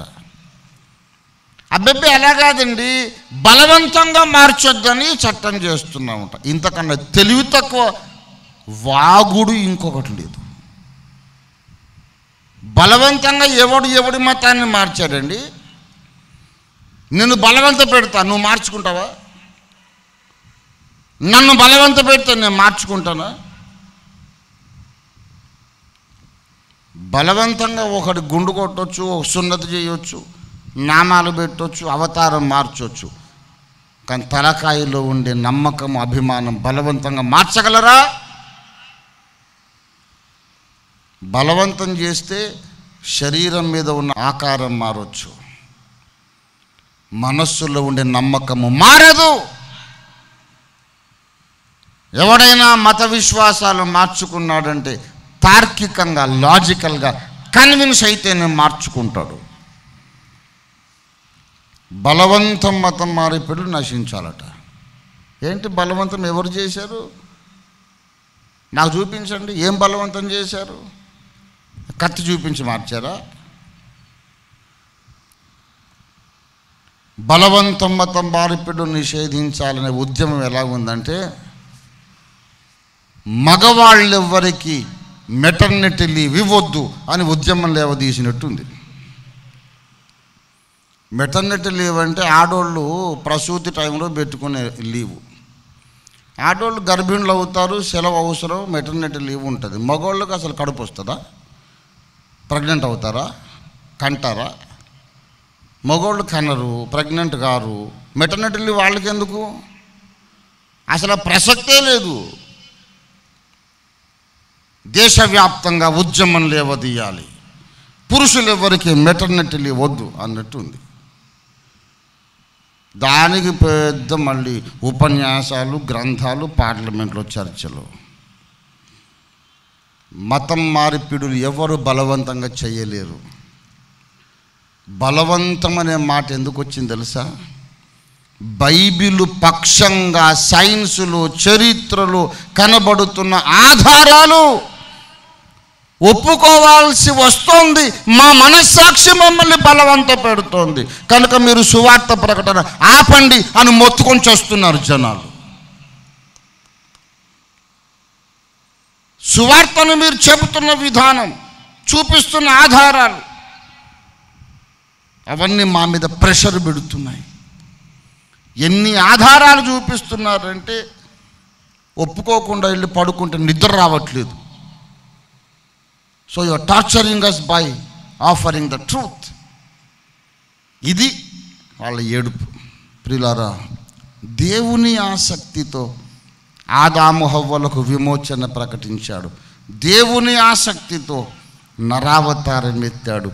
దేవుని ఆసక్తిని బట్టి అన్ని గ్రంథాల్లో నిరూపణలు రాయించాడు. దేవుని ఆసక్తితో సైంటిఫిక్ రుజువులు చూపిస్తున్నాడు. ఇప్పుడు ఆఖరణ ఒక్క ప్రశ్న అడిగి ముగిస్తాను. నీ ఆసక్తి ఏంటి? మీరు క్రైస్తవులు కావచ్చు క్రైస్తవేతరులు కావచ్చు. అసలు సత్యము తెలుసుకోవాలని ఆసక్తి నీకుందా? నేను నమ్మేది సత్యమే అయి ఉండాలి. సత్యము కానిదేది నేను నమ్మను అనే యథార్థత నీకుందా? Are you interested in truth are you committed to believe nothing but truth are you honest ఎవరున్నారండి? సత్యాసక్తి కలిగిన వాళ్ళు. మీరు ఆసక్తులయ్యుండుడని చదివా? I'm four square I'm in the premises of that main text ఎక్కడికి పోలే? అందులోనే ఉన్నా. ఆసక్తిని గురించి మాట్లాడుతున్నా. సత్యము పట్ల ఆసక్తి ఉందా? ఒక ఆయన నా దగ్గరకు వచ్చి అన్నాడు కన్యకు పురుషుడు ముట్టుకోకుండా ఒక ఆడపిల్లకు గర్భం వచ్చిందంటే ఎలా నమ్ముతున్నారండి ఓఫీర్ గారు? ఇంత మేధావి మీరు ఇంత సైన్స్ తెలిసిన వాళ్ళు ఆడపిల్లకి ఎలా గర్భం వస్తుంది మగవాడు ముట్టుకోకపోతే? అన్సైంటిఫిక్ రిలీజన్ ఎలా నమ్ముతున్నారు? అన్నాడు. అలాగండి మరియమ్మ పురుష ప్రమేయం లేకుండా యేసును కనడం అన్సైంటిఫికా మరి చెవుల్లోంచి ఒకడు పుట్టడం సైంటిఫికా ఇద్దరు మగోళ్ళకే ఒకటి పుట్టడం సైంటిఫికా మరియమ్మ కన్నెపిల్లైనా కనీసం ఆడపిల్ల గర్భసంచి ఉంది. గర్భసంచిలో బొడ్డు పేగు ఉంటుంది ఫుడ్ అందింది. అవును మగోడు కడుపు లోపల వాడు ఎలా పెరిగేటండి? ఏం తిని బతికాడు లోపల? గర్భసంచి లేదుగా మగోడికి? అది సైంటిఫికా. ఇద్దరు మగోళ్ళకు పుట్టేది సైన్స్ అంట. చెవులోంచి ముక్కులోంచి పుట్టేది సైన్స్ అంట. మరియమ్మకు అనేది మాత్రం అన్సైంటిఫిక్ పెద్ద సైంటిఫిక్ మనిషి పుట్టుకొచ్చాడు ఇప్పుడు. పీపుల్ ఆర్ నాట్ ఆనెస్ట్ నేను చెప్తున్నా. Men will believe what they want to believe not what is rational not what is reasonable మనుషులు ఎప్పుడు కూడా ఏది నమ్మితే వాడికి సుఖంగా ఉందో అది నమ్ముతాడు. ఏది నమ్మితే వాడు ఎగో సాటిస్ఫై అవుతుందో అది నమ్ముతాడు కానీ అసలు సిసలైన సత్యం నమ్మాలి. అని రోషం పట్టుదల పంతం కలిగిన వాళ్ళు బహు అరుదుగా ఉన్నారు ఆ అరుదైన వాళ్ళలో ప్రతి ఒక్కడు సూనర్ ఆర్ లేటర్ క్రైస్తవుడుగా మారి తీరుతాడంతే. దేవుని స్తోత్రం కలుగును గాక. Sooner or later every honest person who is committed to believe the truth will have to come to the Bible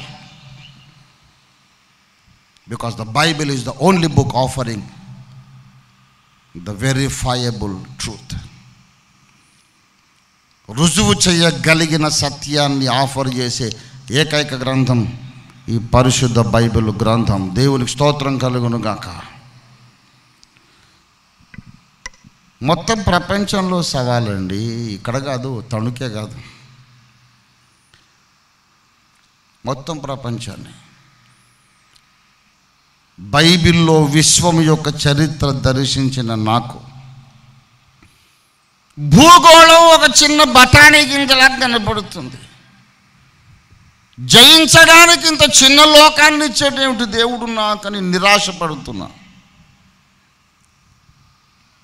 అతి త్వరలోనే భూగోళాన్ని జయించి బైబిల్కు విరోధంగా మాట్లాడే వీరుడెవడైనా ఇంకో గ్రహం మీద ఉన్నాడని వెతుకులాట మొదలు పెడతాను నేను. అప్పటికింకా ఇలాగే ఉంటాను నేను.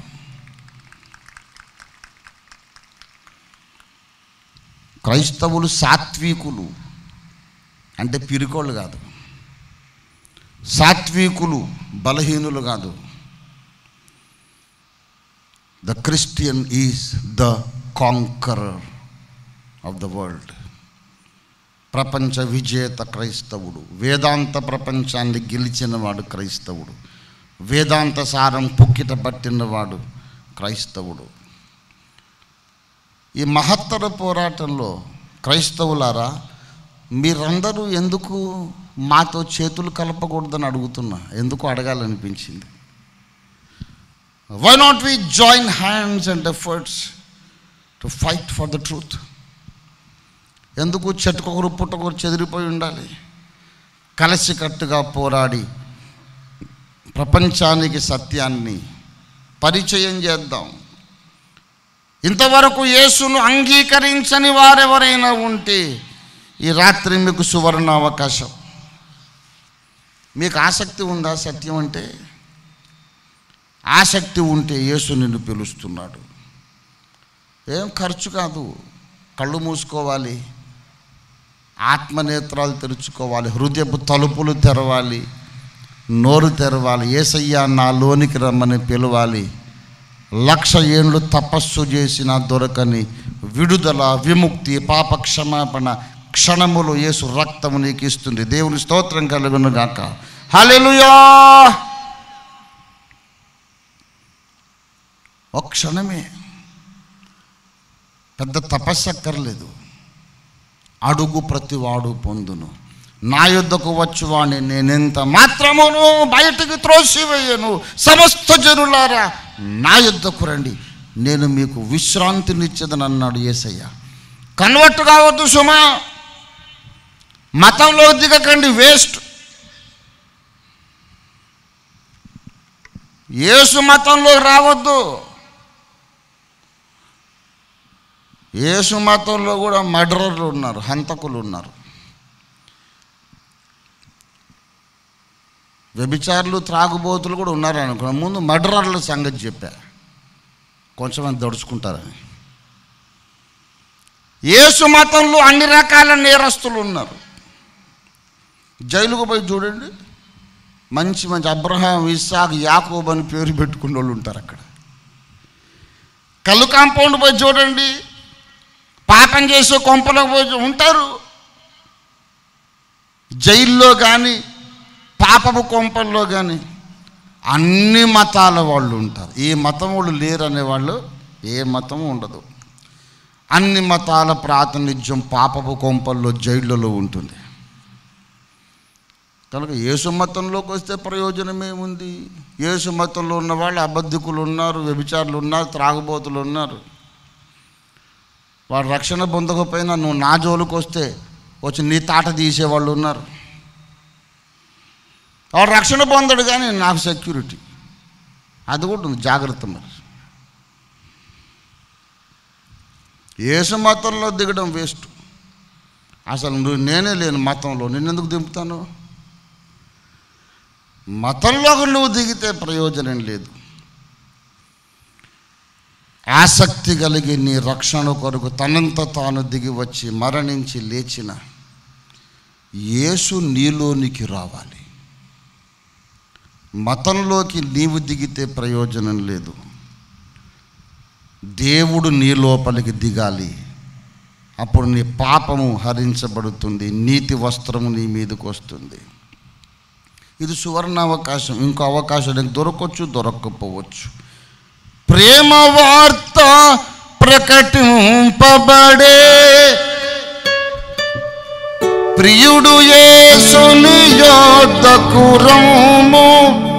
ప్రేమ వార్త ప్రకటించబడే. ప్రియుడు यो तपुरम कृपा कालमिदे जागेला कृपा कालमिदे जागेला परू किडिलम्मु कृपा कालमिदे जागेला कृपा कालमिदे जागेला परू किडिलम्मु పిలచుచున్నాడు రమ్ము. రక్షణను పొంది లక్షణముగా వెళ్ళు రక్షణను పొంది లక్షణముగా వెళ్ళు ప్రేమతో యేసు పిలచుచున్నాడు.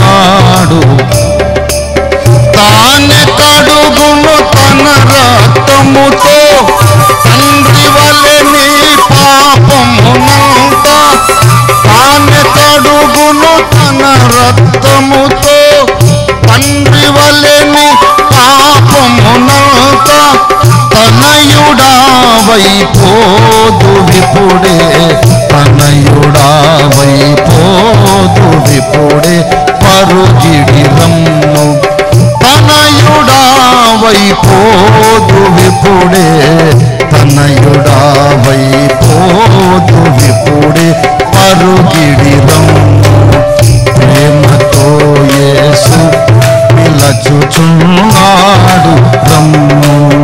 రక్షణను పొంది లక్షణముగా వెళ్ళుము. రక్షణను పొంది లక్షణముగా వెళ్ళుము ప్రేమతో యేసు పిలచుచున్నాడు తప్పిన గొర్రెను రక్షింప తనదు రక్తమును చిందించే తప్పిన గొర్రెను రక్షింప తనదు రక్తమును చిందించే కాపరీశ్వరము ధ్వనించే కాపరి స్వరము ధ్వనించే పరుగిడిరము కాపరీశ్వరము ధ్వనించే కాపరి స్వరము ధ్వనించే పరుగిడిరము ఎంతో యేసు పిలచుచున్నాడు. రక్షణను పొంది లక్షణముగా వెళ్ళుము రక్షణను పొంది లక్షణముగా వెళ్ళుము హెమ్మతో యేసు పిలచుచున్నాడు ప్రభునందు ప్రిలారా తిరుగులేని సత్యం అంటూ భూమి మీద ఏదైనా ఒకటి ఉంటే అది క్రీస్తు సువార్త మాత్రమే. దేవునికి స్తోత్రం కలుగును గాక ప్రభుని యేసునందు విశ్వాసం ఉంచండి. మీరు మీ ఇంటి వారు రక్షణ పొందుతారు. ప్రభువుని యేసు సువార్తను చాటించడానికి కంకణ బద్ధులు కండి ప్రతిష్ఠితులు కండి. ఇహలోకంలో పరలోకంలో కూడా ధన్యులు అవుతారు దేవుడు అటువంటి జ్ఞాన హృదయం మీకు ఇచ్చును కాక ప్రార్థన చేసుకున్నారు రండి. ప్రార్థన ప్రార్థన ప్రార్థన. ప్రేమ కలిగిన మా పరిశుద్ధ తండ్రి. నీ మధుర స్వరం వినబడింది నాయన నీకు వందనాలు. వాక్యము విన్న ప్రతి ఒక్కరిలో మీరు నీ కార్యము జరిగించండి. రక్షణ పొందని వారు రక్షణ ఈ రాత్రి పొందునట్లు మారు మనస్సు పొందునట్లు. అన్యాయముగా మిడిమిడి జ్ఞానంతో వాస్తవాలు ఎరుగక క్రీస్తు మీద క్రీస్తు మార్గము మీద ద్వేషం పెంచుకున్న మా అన్నదమ్ములు మా అక్క చెల్లెండ్రుతో ఈ రాత్రి మీరు మాట్లాడారు మీకు వందనాలు. ఇంకను వారు పరుండి నిద్రకు ఉపక్రమించినప్పుడు మాట్లాడండి మెలకువలో మాట్లాడండి వారి గాఢ నిద్రలో కూడా మీరు మాట్లాడండి. అన్యాయముగా క్రీస్తు మార్గమును ద్వేషించిన వారు వేలాది మంది ఈ రాత్రి రక్షణ పొంది మార మనస్సు పొంది. చీకటిలో నుండి ఆశ్చర్యకరమైన దేవుని రక్షణ వెలుగులోనికి వత్తురుగాక తండ్రి. రక్షణ పొందిన వారు ధైర్యముగా రాజీ పడకుండా ఎట్టి భయమునకు బెదరక ఒక్కొక్కరు ఒక్కొక్క ఏలియా వలె పౌలు వలె తెగువగలిగి నీ వాక్యము ప్రకటించడానికి ప్రతి ఒక్కరూ నడుం కట్టుకొని సత్యమును దట్టి కట్టుకొని సర్వాంగ కవచం ధరించుకొని నేను కన్నుమూయక ముందు కొన్ని ఆత్మలు తప్పకుండా పట్టుకుంటానని నిశ్చయతతో స్థిర తీర్మానంతో ప్రతి క్రైస్తవ స్త్రీ పురుషుడు సువార్థికులగున్నట్లుగా సహాయం చేయండి. నీ వాక్యం ఫలింప చేస్తూ ఉన్నందుకై నీరు కడుతున్నందుకై నీకు వందనాలు చెల్లించి యేసు పరిశుద్ధ నామంలో స్తుతించి ప్రార్థిస్తున్నాం తండ్రి. మన తండ్రి అయిన దేవుని ప్రేమ ఏసయ్య కృప జగద్రక్షకుడైన విశ్వ సార్వభౌముడైన యేసునాథుని అనంత అపార కృప. సత్యస్వరూపి తానయ్యుండి సర్వసత్యంలోనికి మనల్ని నడిపించడానికి దిగి వచ్చిన పరిశుద్ధాత్మ తండ్రితోడి ఎడతెగని సహవాసం మనకందరకు సదా తోడయుండి సత్య ప్రతిష్ఠితులుగా చేయునుగాక. Amen amen amen.